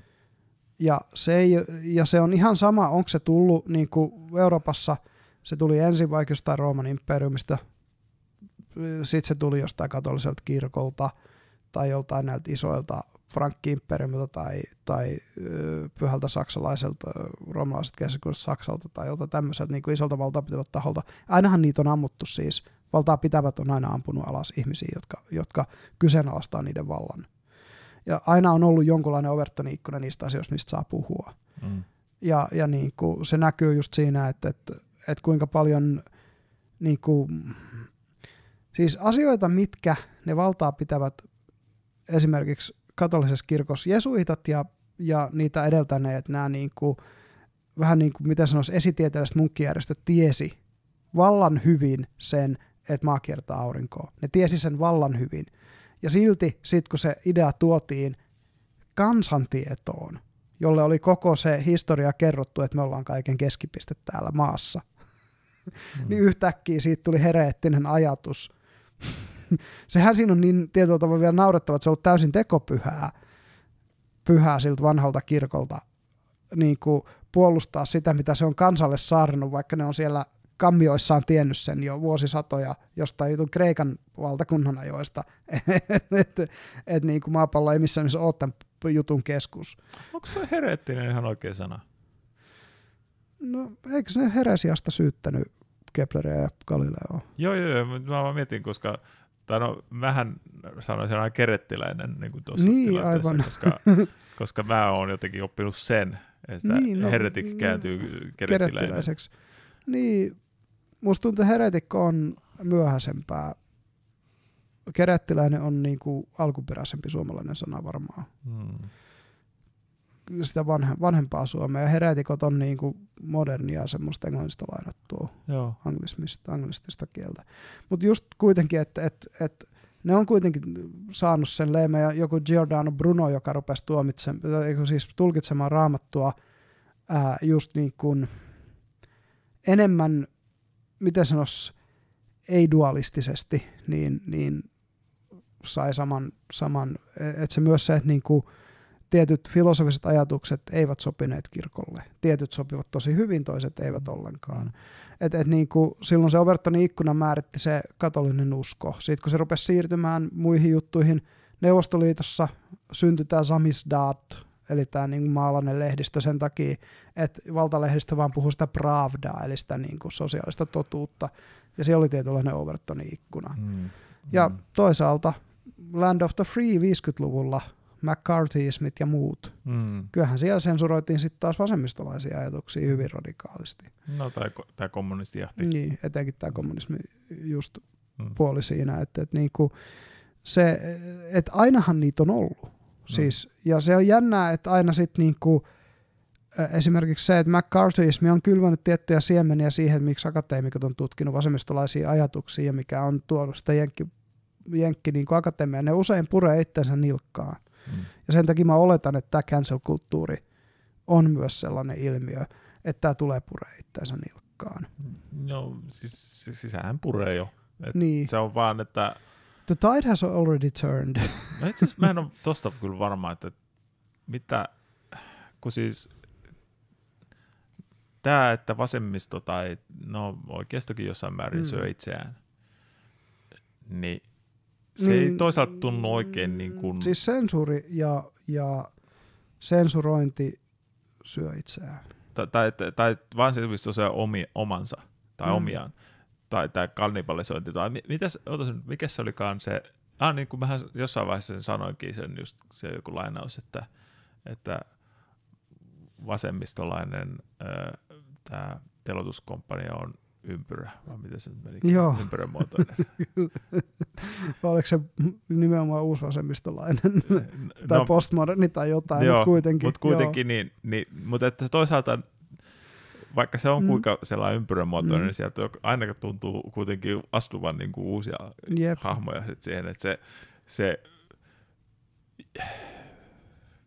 mä, mä, sanotaan, että mä, mulla ei ole mitenkään sellainen optimistinen kuva, että cancel-kulttuuri jotenkin niin kuin, mä veikkaan, että se tulee ehkä, saattaa olla, että me eletään nyt cancel-kulttuurin aallonharjaa. Mm. Et se, mutta sitten, musta näyttäisi, mut, että niinku... Mutta mä veikkaan, että se tulee elämään aaltoliikettä sitten. Joo, niinku. mutta mikä on se seuraava niin sanottu cancel-kulttuuri, että jos edellinen on ollut, ollut joku... No Suomessa voisi jos katsotaan ihan paikallisesti, niin täällähän jossain vaiheessa oli se suomettumisaalto, mikä olisi meidän mm. edellinen cancel-kulttuuri. Ja, ja sitä, mitä sitten on ollut sitä edellisiä.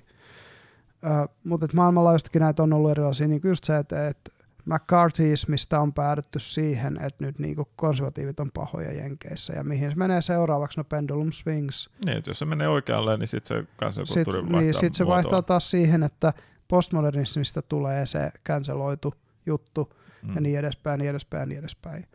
Mm. Ja, ja historiahan on ollut tämmöistä niin kuin aaltoliikettä tosi paljon näiden ideoiden, ideoiden osalta. Ja se, mikä ollaan toisaalta huomattu monessa asiassa, on, että vähän niin kuin tämä internetti on sellainen mm. kaiken niin kuin, voimistaja. On joo, siinä on joku amplifikaatioefekti, joo, minkä se joo. tekee. Ja Et some se, etenkin. Niin, just, niin just joo, some, some Etenkin some, joo, niin. joo. Kyllä se vanhankin internetin aikaan jonkun verran näkyy, mutta some on tuonut se jotenkin niin, niin kuin no, no, se on toisaalta, kun se tieto leviää niin, niin Jep, vaan nopeasti. Kyllä. Ja se leviää niin kuin siis selle, tai kun siis siinä on se tavallaan mm. taas, että okei, jos ajatellaan vaikka 50-luvulla, mm.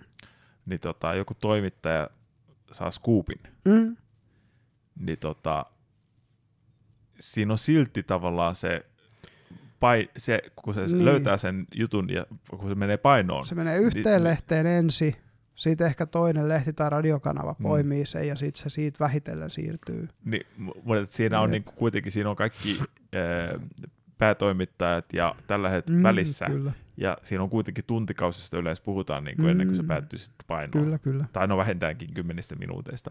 Mm. Mutta mm nykyään tavallaan, kun se joku lähtee virallisesti etenemään, mm. niin se etenee suoraan suodattamattomana minkään mm. niin kuin just mm. faktan tsekkauksen tai minkään tällaisen läpi. Ja se, se varsinkin sitten, kun se on, se on se sellainen outrage-moottori, mm. mikä outrage on taas suomeksi. Mm. Tämä on meidänkin. Tämän no, mikä kiihottuminen. Joo, tai semmoinen niin kuin kiihkoilu. Niin, niin se, se kun vetää vielä sen, sen siihen mukaan, mm. niin sittenhän se leviää sellainen kulvalkean tavoin. Kyllä, ja, ja vielä, jos se on so, sopivaa, niin kuin, mm, yrittää se sopivan kyllyksen, niin sitten se on vielä globaali. Että se vetää niin kuin, Jep, ja, ja just se, että sitä ruvetaan, siitä ruvetaan vielä se, että niin kuin, tarvii yhden ihmisen kääntää se toiselle kielelle ja viitata sillä toisella kielellä, niin siitä sit puhutaankin jo useammalla kielellä siitä mm. samasta jutusta. Ah, niin se, se, mitä me olin tuossa mm. sanomassa, että sitten se skuuppi, mm. niin nyt se on se, kuka ensiksi tuomitsee jonkun. Mm. Mm. Se, se, se, on, se on se, se skuuppaaja. Mm. Ja sillä, mm. koska siinä ensimmäisenä olijana, jos sä asut oikeaan, mm. niin sä siinä, siinä sun omassa kuplassa, mm, ja sä niin sä saat, saat niin paljon pointseja. Mm. Ja sitten, mutta sitten taas on taas se lieveilmiö, että jos sä tässä menetkin väärin, niin sun ei koskaan tarvitse pyytää anteeksi tai mm. koskaan niin kuin, tarvitse perua sanojas, vaan kyllä. sä voit, voit niin kuin, jatkaa Aivan. samaa niin, matkaa. Kyllä. Se on muuten totta, toi on, toi on, toi on tosi pitkälti se, mitä se ilmiö menee. Mm. Ja onhan toi siis miten se sanoisi just se, että mä en tiedä, mikä siinä elektronisessa kommunikaatiossa on, miksi sitä meidän niin kuin, tiettyä semmoista yritystäkään ymmärtää toisiamme niin vie pois. Tai jotenkin niin kuin, et, et ei, ei siellä käydä... Se on monen tekijän summa. Niin, kun ei siellä, et se on hauska muuten, jos mietitään, niin kuin, mistä Flame Warsit on lähtenyt. Nehän jo vanhassa Usenetissä aikanaan oli, oli Flame Warsia. Toki sitäkin ennen varmaan niin kuin lehtien mielipidepalstoilla oli Flame Warsia jo ennen kuin... Onkohan enää edes Flame Warsia varsinaisesti? Mm, se on muuten hyvä kysymys. Voiko niitä Twitter-kiistoja enää pitää niin kuin vastaavina? vastaavina tota. Mä jotenkin veikkaan, että ainakin ennen kuin joku mikään tahansa Flamor yltyisi minnekään, mm-hmm. niin siinä tulisi se känselöinti mukaan. Niin, se on ihan totta. Ainakin yritys känseloida. Niin. Et sit sieltä lähtee, mm. niinku, että jos joku alkaa vähän turhankin raflaavasti niinku heittää jotain, jotain ö, semmoista no, kommenttia, niin tota, mm niin luultavasti joku sieltä vastapuolelta lähtee doksaamaan ja niin kuin mm. ottaa yhteyttä niin kuin työnantajiin ja eikä känselöimään sitten. Joo. Ja just toi Et se, on, se on itse asiassa ollut vähän toisaalta se kanseloinnin, että mm. se on mm. vähän niin kuin Flameborin semmoinen pysäyttäjä. Joo, ja anonymiteetti jotenkin paljon vaikeampaa nykymaailmassa. Tai silleen, että, että niin kuin, se on yhtä aikaa helpompaa, mutta se on yhtä aikaa tietyllä tavalla vaikeampaa. Ah, tai hei. Että se doksaaminen on helppo. Koska, koska se, se mm. varmaan niin kuin somen myötä on tullut enemmän sitten tätä oikeaa identiteettiä. Mm. Niin jengi jos lähtee flamettamaan niin kuin just tolleen, niin kuin omilla nimillään. Niin, tai no ensinnäkin siinä on se, että harvempi lähtee siihen. Niin ja Usenet-piirit jos... oli pienemmät. Siis kun mm. somessa, Usenetissä et kuitenkaan keskimäärin forwardoinut yhdestä Usenet-ryhmästä toiseen asioita. Ne pysyi sen yhden pienen ryhmän sisällä, joka suunnilleen tunsi toisensa. Mm. Ja oli niin pitkään kuitenkin keskustellut keskenään. Mutta sitten just jossain somessa, kun joku täysin, se voi olla sun kaverin, kaverin, kaverin, kaverin serkku, joka jakaa sen jollekin ja teekö silleen, että se, se, just se potentiaali silleen, että, että se Sä voit käydä Flame Warsia Usenetissä, koska se tuli on niinku kuitenkin tietyllä rajatulla alueella. Mutta sä et voi kulovalkean tavoin polttaa maapalloa, vaan et niinku, mm. jep. Et se ei siinä niinku, kyllähän kiistoja käydä. Ja tietysti metodit on jossain määrin, että kun Flame Warsissa oli se, että ihmiset piti niitä omia puoliaan ja muuta, mutta et sit niinku, jossain tuollaisessa somejutussa, kun se menee siihen trollailuun ja ja muuhun sellaiseen, että sitten se niinku, siellä hämärtyy se, että mit, mistä siinä enää tapellaan ja se, se semmoiset gotchat on niinku tullut. Mm. Tiedätkö? Niin, et siinä Flame Warsissa oli enemmän kuitenkin kyse siitä semmoisesta, miten se nyt sanoisi. Siinä niin. oli myös se, että se mentaliteetti toisaalta, että annetaan täyslainallinen ja osataan, että, ymmärrät, vastaan, niin, että ymmärretään, niin. että sieltä tulee toisaallinen vastaan. Että nykyään on sitten se tavallaan se, koska toisaalta tämä loukkaantuminen mm. on tavallaan yksi tapa Ammattimaiset loukkaantujat, mm. joo, kyllä niitä on tullut. Ja se ammattiuhrit tietyllä niin, tavalla. Loukkaantuminen, uhriutuminen. Jep, niin. kyllä, kyllä. Niin, ja siis monesti, sehän on vielä sanottava, että monesti se uhriutuminen voi olla ihan validi sinänsä, koska kyllä nyt siis paskaa meille kaikille tapahtuu. Ja me kaikki voitaisiin uhriutua, jos haluttaisiin. Niin, tai, tai, tai siis se uhriutuminen on eri asia kuin olla uhri. Niin, niin kyllä. Mutta meillä kaikilla olisi potentiaali, koska maailma kohtelee kaikkia ihmisiä, huolimatta siitä, mihin demografioihin kuulut, niin maailma kohtelee sua kuitenkin synkästi. Hmm. Jotain paskaa sulle tapahtuu joka tapauksessa sun lemmikkejä kuolee tai sukulaisia kuolee tai joku ystävä jää auton alle tai tekee itsemurhan tai jotain tämmöistä. Jotain tuollaista käy kaikille. Mm. Me voidaan uhriutua siitä tai, tai me voidaan kasvaa siitä. Et siinä on niinku, vähän niin kuin se, että et, you get bitter or you get better, niin kuin englanniksi sanotaan. Mm. Että susta tulee katkelta, jos se parempi. näistä niin kuin kasvattavista kokemuksista. Ja ne, jotka valitsee sen uhrin työn, tien, niin ne valitsee sen katkeruuden. Ja se on sitten taas sitä, mistä mä oon puhunut Nietzsche ja ja mennään sinne. Mm. Mutta ei mennä sinne, mm. koska sekin menee niin ohi tästä. Mutta olisiko tämä niinku cancel-kulttuuri? Taputeltu. Niin, vähän on käyty historiaa ja vähän on käyty nykyisyyttä mm. ja, ja päästiin vähän väittelemäänkin, mutta voidaan, voidaan, voitaisiin tehdä joku tollain, me pitäisi ottaa joku sopiva päivä sille, sille ihan vaan niinku, että siis sellainen niinku, joku, joku uskonpuhdistuksen tai en mä tiedä, joku tommonen niinku, tiedätkö, muistopäivä tai niinku, tiedätkö, joku, joku tällainen niinku sopiva silleen, että se olisi niinku, tai joku Christopher Hitchensin kuolinpäivä, vuosipäivä tai jotain, ja sitten väitellä Va- Varustaudutaan. Silloin. Koska Hitchenshän oli näitä, niin, jotka juuri tykkäsi kärkkäästi väitellä mm. ateismin puolesta. Mä en itse asiassa oikein digannut koskaan Hitchensistä. Hitchens on siis sen, mun on pakko arvostaa sen verbaalista kyvykkyyttä. Ja mä taas en koskaan oikein, koska se, sen, se luotti liikaa siihen, siihen, mutta sen argumentointi ei ollut kovin se, ei välttämättä, se argumentointi ei välttämättä ollut niin hyvää, mutta, mutta silti on niinku arvostava sitä, että tyypillä on sanahallussa noin hyvin. Niin. Siis se oli taitava jätkä väittelee. Se ei sano, että se oli hyvä väittelijä, mutta on taitava. Niin, tai näin, näin, se, se, se, sen argumentit mun... ei välttämättä ollut hyvin, mutta se oli taitava väittelee. Et niin, niin, se voisi sanoa. Siis, sanotaan, että siitä niinku hioutuneempi muotohan on jossain määrin Douglas Murray. Hmm. Murraylla on hyvät argumentit ja se on hauskaa tai viihdyttävää kuunneltavaa yhtä hmm. aikaa. Se ei ole yhtä kärkäs, mutta se on silti viihdyttävää hmm. kuunneltavaa. Hyvin vastaavan kaltainen hahmo.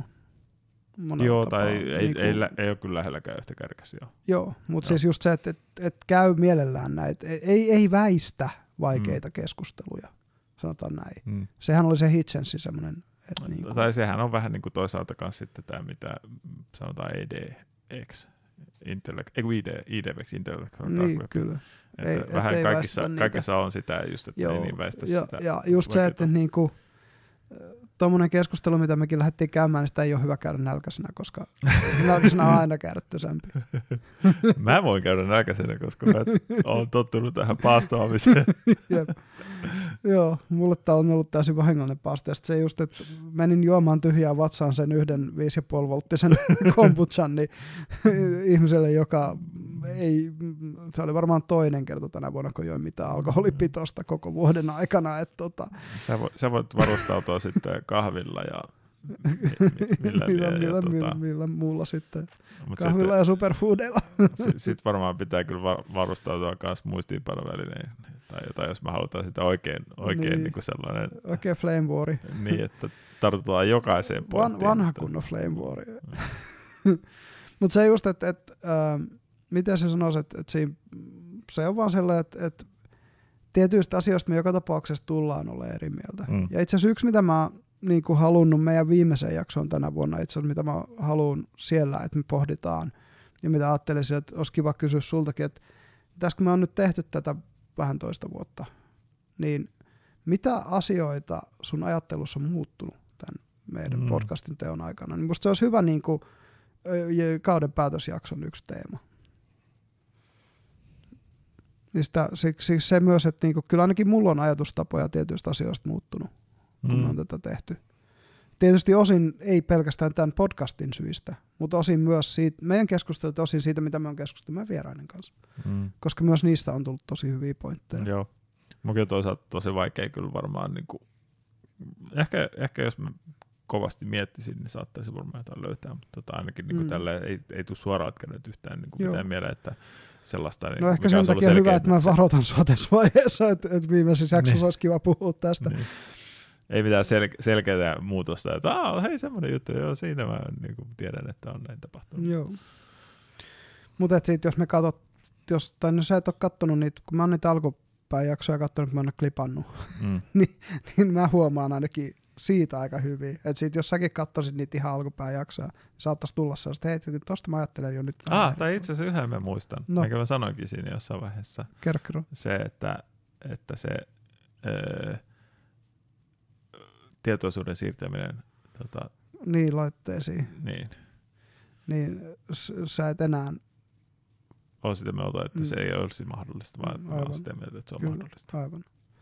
Jotain on muuttunut. Joo. Joo. Mutta Mut sekä ei tosiaan niistäkin- tullut vaan tämän podcastin kautta niinkään. Niin, Eikö no, itse asiassa, olisiko se tullut jossain määrin?